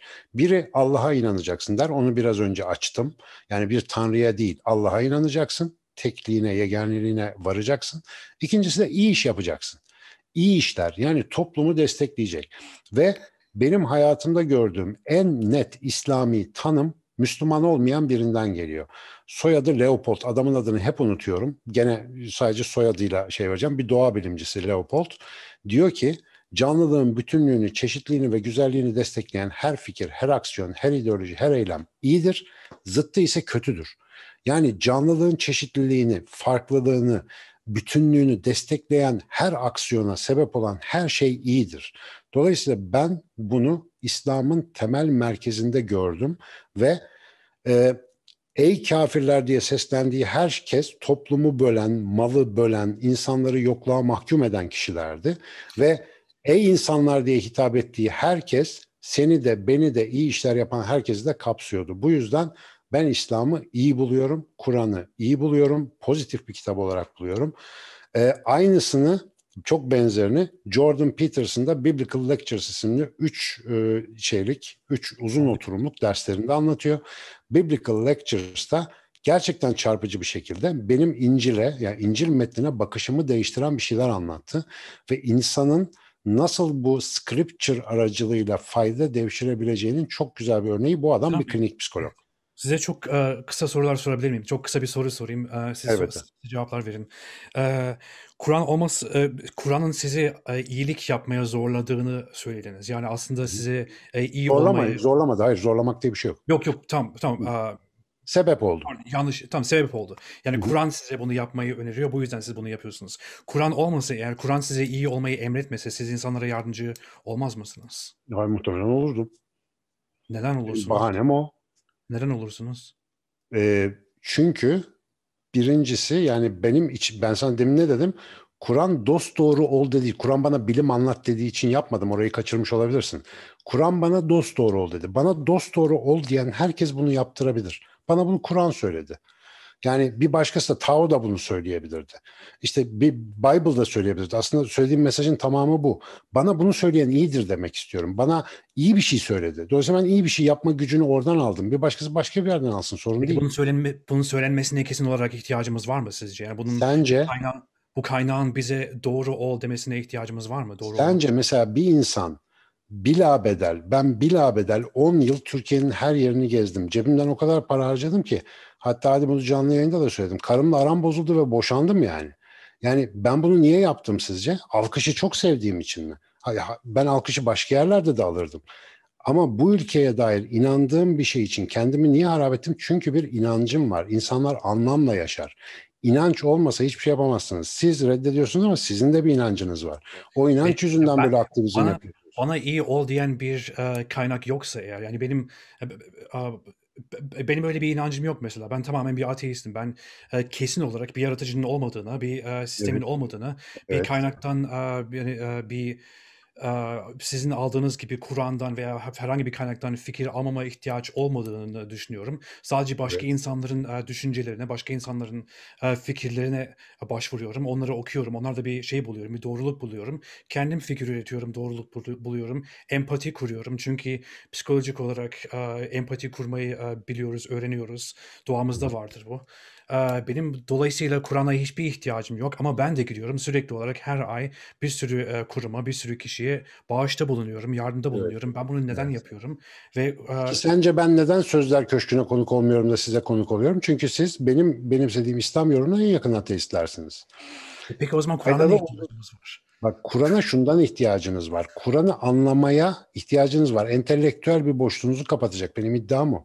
Yani siz yanlış yapan insanların yanlışlarıyla bir ad hominem yapıyorsunuz. Yani daha doğrusu korkuluk safsatısı yapıyorsunuz. O şey Strawman fallacy var ya ona düşüyorsunuz. Kötü örneği lanse edip olayın arkasındaki felsefeyi ıskalıyorsunuz. Sizin yaptığınız iyi şey evrensel iyiliğin bir parçası. Ve bu evrensel iyiliğin yansımaları var. Bu kırılmış bir aynadan yansıyan ışık kaynağı gibi. Her ayna kendince ışık kaynağını yansıtır ama ışık kaynağı tektir. Dolayısıyla iyilik varsa iyi var iyi diye bir kavram var. O iyilik Kur'an'da da çıkar öbür tarafta da çıkar. Nasıl baktığınıza göre değişir. Ben dünyadaki bak bu cümleme dikkat et. Bu cümlem bu cümlem önemli. Bunu başka bir yerde söylemedim. Tamam. Dünyada biraz önce Leopold'dan alıntı yaptığım söze hizmet eden herkesi hak, din üzere olarak değerlendiriyorum. İnancının adına ne derse desin. Canlılığın bütünlüğünü destekleyen herkes, çeşitliliği destekleyen herkes, yaratılmışların var olanın bütünlüğünü kapsayabilen herkese hak din üzeri derim. İsterse adına ateist desin. Benim için hiç fark etmez. Ama bu evrenin bir kısmını dışlayan, bak Kur'an'ı, öğretiyi, Müslüman'ı, var olanı dışlarsan eğer Leopold'un tanımına aykırı düşer ve kötülüğe düşmüş olursun. Bu konuda uyarmak için geldim ben. Ben sizin yaptığınız işleri genel olarak beğeniyorum. Neye karşı olduğunuzu bildiğimi zannediyorum. Sizin karşı olduğunuz çoğu şeye ben de karşıyım. Ama yanlış bir zeminde hatalı, istenmeyen kötü sonuçlara sebep olabilir. Bu yüzden sizlerle konuşmayı önemsiyorum. Bence siz Ateizm Derneği'ne katılın o zaman çünkü... E... Ama ben ateist değilim işte problem orada. ya o ismi vermeme gerek yok olmanız, kendime. Olmanıza gerek yok. Ateistlerin de bir bir doğruluk üzerine olduğuna dair bir destekte bulunduk. Yani evet, söyledim işte ikrar ettim daha ne diyeyim. Yani Şaka yapıyorum. Benim, benim birçok bildiğim Müslüman birçok bildiğim Müslüman sizin gibi yaşadığı için benim için gerçek Müslüman. Yani Şunu her şeyi reddettikleri. Ben eğer bir ateist olarak, ben kesin olarak bir e, doğaüstü bir şeye inanmıyorsam, tamamen e, bilimi takip ediyorsam, hayatımı e, varoluşçuluk içerisinde yaşıyorsam, başka insanlara saygı duyuyorsam, özgürlüğe, sevgiye inanıyorsam, yardımda bulunuyorsam, hiç kimseye bir zararım yoksa eğer, o zaman ben hak dinin, hak dinde miyim? Hak yolda Bence mı? öylesin. Bence öylesin. Çok güzel. Ama şununla da kendini sına, eline güç geçtiğinde Müslümanı ya da bugünkü İslamcıyı e, kaderini belirleme hakkı elinde olduğunda ona ne yapacağına bir bak. Ona ben, ne yapacağına göre belli olacak. Ben kötülük yapmak istemem ama, ama bence bu tamamen insanın insanlığın veya hatta hayvanların doğasında olan bir şeydir. İnsan bir şeyin peşinde bulunur. İnsan bir insan etrafındaki şartların şartlardan dolayı bir uh, kurallar çerçevesinde hareket etmeyi ister. Çünkü huzur içerisinde yaşamak ister. Uh, kendisi huzur içerisinde yaşamak ister. Acı çektiği, uh, acı çeken birini gördüğü zaman uh, onunla bir empati kurar. Onun evet. yerinde ben de olabilirdim. Ona yardım etmezsem bana kim yardımcı olacak gibisinden bir düşünce kurar. Ona yardım eder. Ama bugün yarın uh, elindeki imkanlar çok yüksek olduğunda ve etrafında hiçbir sınır kalmadığında birden insanlara eziyette bulunabilir. Ve insan eğer bir dini kitabı kendisine göre, göre yorumlayabiliyorsa eğer, Kur'an'ı da kendi yorumlarına göre yorumlayabiliyorsa eğer, o zaman bunu Kur'an'ı okuyarak da yapabilir, okumayarak, okumayarak da yapabilir. İnsan Niye sürekli olarak iyilik yapmaya ve kötülük yapmaya meyillidir. Kur'an'ı okusa da okumasa da. Bu durumda... Ben biraz önce bana bir soru sormuştum. Ben bunu bunu bunu yapıyorsam hakkın üzerine. Ben sana ne ilave ettim? Sınandığın durumda yırtabiliyorsan hakkın üzerinde. Sınanmadan hiçbir insanın iyi olup olmadığı belli olmaz. Ekstrem durumlarda kaldığında bu belli olur. İşte Kur'an gibi sana hakikati hatırlatan şeyler zaten ekstrem durumlar içindir. Sen e, barışı, kardeşliği, e, eşitlikçi gelir bölüşümünü savunabilirsin. Ama multimilyarlık şirketin olduğunda bakalım hala aynı şeyi yapabiliyor musun? İşte İslam yani hak din üzere olmak burada ortaya çıkar. Burada kendini test etmeden önce emin olmamanı dilerim. Çünkü tabii, e, tabii. ben Sinayi Demirci'den duymuştum. Galiba Seneca'nın sözüymüş. E, sınanmadığın günahın masumu sayma kendini diye bir söz var. Çok hoşuma gidiyor. Ben bir sürü idealden bahsederim ama o ekstrem koşullarda ne yaparım onu da çok bilemem. Benim orada bir rehbere ihtiyacım var. Benim orada danışacak beni bir insana danışmaktansa bir hakikate danışmayı tercih ederim. Hakikate en yakın bulduğum şey Kur'an'dır. Kur'an'ın ilkeleridir. Dolayısıyla ben onu yanımda tutmayı tercih ederim. Günlük hayatta bir sorunum yok. Ona hiç bakmadan da yaşarım. Vicdanı gelişmiş bir insanım. Senden yardım alırım, öbürüne yardım ederim. Biz hallederiz. Ama ekstrem durumlar için bir referansa ihtiyacım var. İşte o referans ihtiyacın olduğunda elinin altında olmalı diye düşünüyorum. Mesela en basitinden ben insanlara sürekli cinsel dürtülerin bizi ne kadar etkilediğini anlatıyorum. Ve çok ilginç bir şekilde Müslümanlara bunu anlatmam daha kolay tabii anlayabilenlere. Çünkü Kur'an'da mesela zina yasak değildir ki zina yapmayın demez. Zinaya yaklaşmayın der. Çünkü yaklaştığın zaman kara delik gibi içine düşeceğini anlatır o. Yani zaten artık olay ufkuna girdi mi çıkamazsın onu işte. Bitti o iş. Dolayısıyla o insan tabiatına bu kadar uygun bir şeyi böyle ifade etmesi benim için o ekstrem duruma düşmeden önce bir referanstır. Önemli. Tabii şöyle özetleyebilir miyim? Ben ben ben şöyle bir sonuca varıyorum. Bu bütün bu tartışmamızın sonucunda Allah var mı yok mu bir yana bu meseleyi zaten çok fazla tartışmadık. Çok daha fazla şeye odaklandık biraz ahlak konusuna, faydacılık konusuna biraz daha odaklandık. Ben şunu evet. görüyorum. Bizden faydası sizin... yok deyince oraya gittik. Siz, sizin açıklamalarınızda da ben çok fazla şunu görüyorum. Hani Allah'ın varlığı, yokluğu, Allah tam olarak nedir, ne değildir orası ayrı bir konu.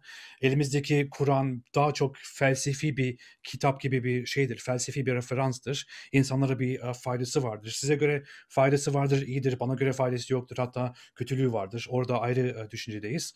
Ancak faydalı, faydalı bulduğunuz bir toplum içerisinde e, Kur'an'a başvurmak ve o Kur'an'a o Kur'an'ı takip etmek, ona inanmak, ona bir e, başınızın ucunda bulundurmak, ona uymak iyidir. Bunun dışında da farklı yollara gitmek gayet iyidir, normaldir. Ol sağlar. E, Galton diye bir abi var tanır mısın? Bir öjenik denen fikri ortaya atın. Bu arada süremiz yine bitti bilginiz olsun. Bir cümle söyleyeyim. Daha sonra da mesela Hitler ve ekibi bunu aldılar biliyorsun. Ari ırkın baskınlığı falan ama Galton'un fikirlerini aldığı kişi Darwin'dir. Şimdi Darwin'in bugün evrim kuramının başarısı tartışılmaz ama Galton bunu yaptı, Hitler bunu yaptı diye nasıl türlerin kökenini gömmüyorsak biraz bu konuya da öyle bakmamız lazım. Hakikat başka, bunu bağlamından çıkararak hevesine uyduranların durumu başkadır. İnsani hatalarla idealleri ayrı tartışalım derim ben. Ben çok keyif aldım. Sizin ekip konuşması en kolay ateist ekip olabilir. Yani o yüzden e, teşekkür ediyorum beni buraya davet edip de sohbete ortak ettiğiniz için. Ben de çok teşekkür ederim. Biz teşekkür ben çok. Çok keyifliydi. Çok, çok güzeldi. Aynen. Ben ikinize de Sonuçta teşekkür din kardeşi çıktık ya biliyor musun? Bir Bunlar Ateist'in daha sonuna geldik. Öncelikle konuklarıma ve siz izleyicilerimize daha sonra da yapımda ve yayında emeği geçen tüm arkadaşlarıma, tüm gönüllülerimize teşekkür ederim. Bu yayınların gerçekleşmesinde reji ekibinde yer alan konuk iletişimlerinden yayın tanıtımlarına ve hazırlanan sorulara kadar her konuda yardımcı olan reji ekibimize de bu vesileyle özel bir teşekkür etmek isterim. Teşekkür demişken bir teşekkür de Patreon ve Kroyosus destekçilerimize gelsin. Ancak bir hatırlatma yapmak istiyorum. Artık yayınların sonunda sadece shout out özelliği içeren paketlere sahip üyelerimizin isimlerini okuyoruz. Hepsini okursak 100 isim okumamız gerekiyor. İçinden çıkamıyoruz. Evet bakalım Türkiye'nin aydınlık savaşçılarını bu ay kimler desteklemiş? Patreon destekçilerimiz Bahar Kılıç, Ekrem Karahan, Gökhan Özbek, Umut Yıldız, Ata İstar, Apostate Prophet Rıdvan Aydemir, Erol Nahmiyas, Hasan Dudu, ben Deniz Onur Romano, Elif S. Kreasus destekçilerimiz Uçaktaki Ateist Ahmet Balyemez, Ulaş Alagöz, Ahmet Cankara, Ertan Evrim, Feriyel Köseoğlu, Zafer Örenlili, Aslan Gençer, Gençer ve Efkan Krimi. Bize olan desteğiniz için teşekkür eder. Aramızda olduğunuzu bilmek bize çok e, güven veriyor. Çok teşekkürler bize olan destekleriniz için. Değerli konuklarıma Sinan Bey'e ve Rıdvan'a da tekrar teşekkürler ediyorum. Gelecek yayınlarda tekrar görüşmek üzere efendim. Artık Bence yalnız... oylama sonucunda insanlık kazandı, evet. evet, oylama sonucunda insanlık kazandı. Çok teşekkürler. Çok teşekkürler. Artık yalnız değiliz. Eyvallah. Evet hocam. Bunlar ateist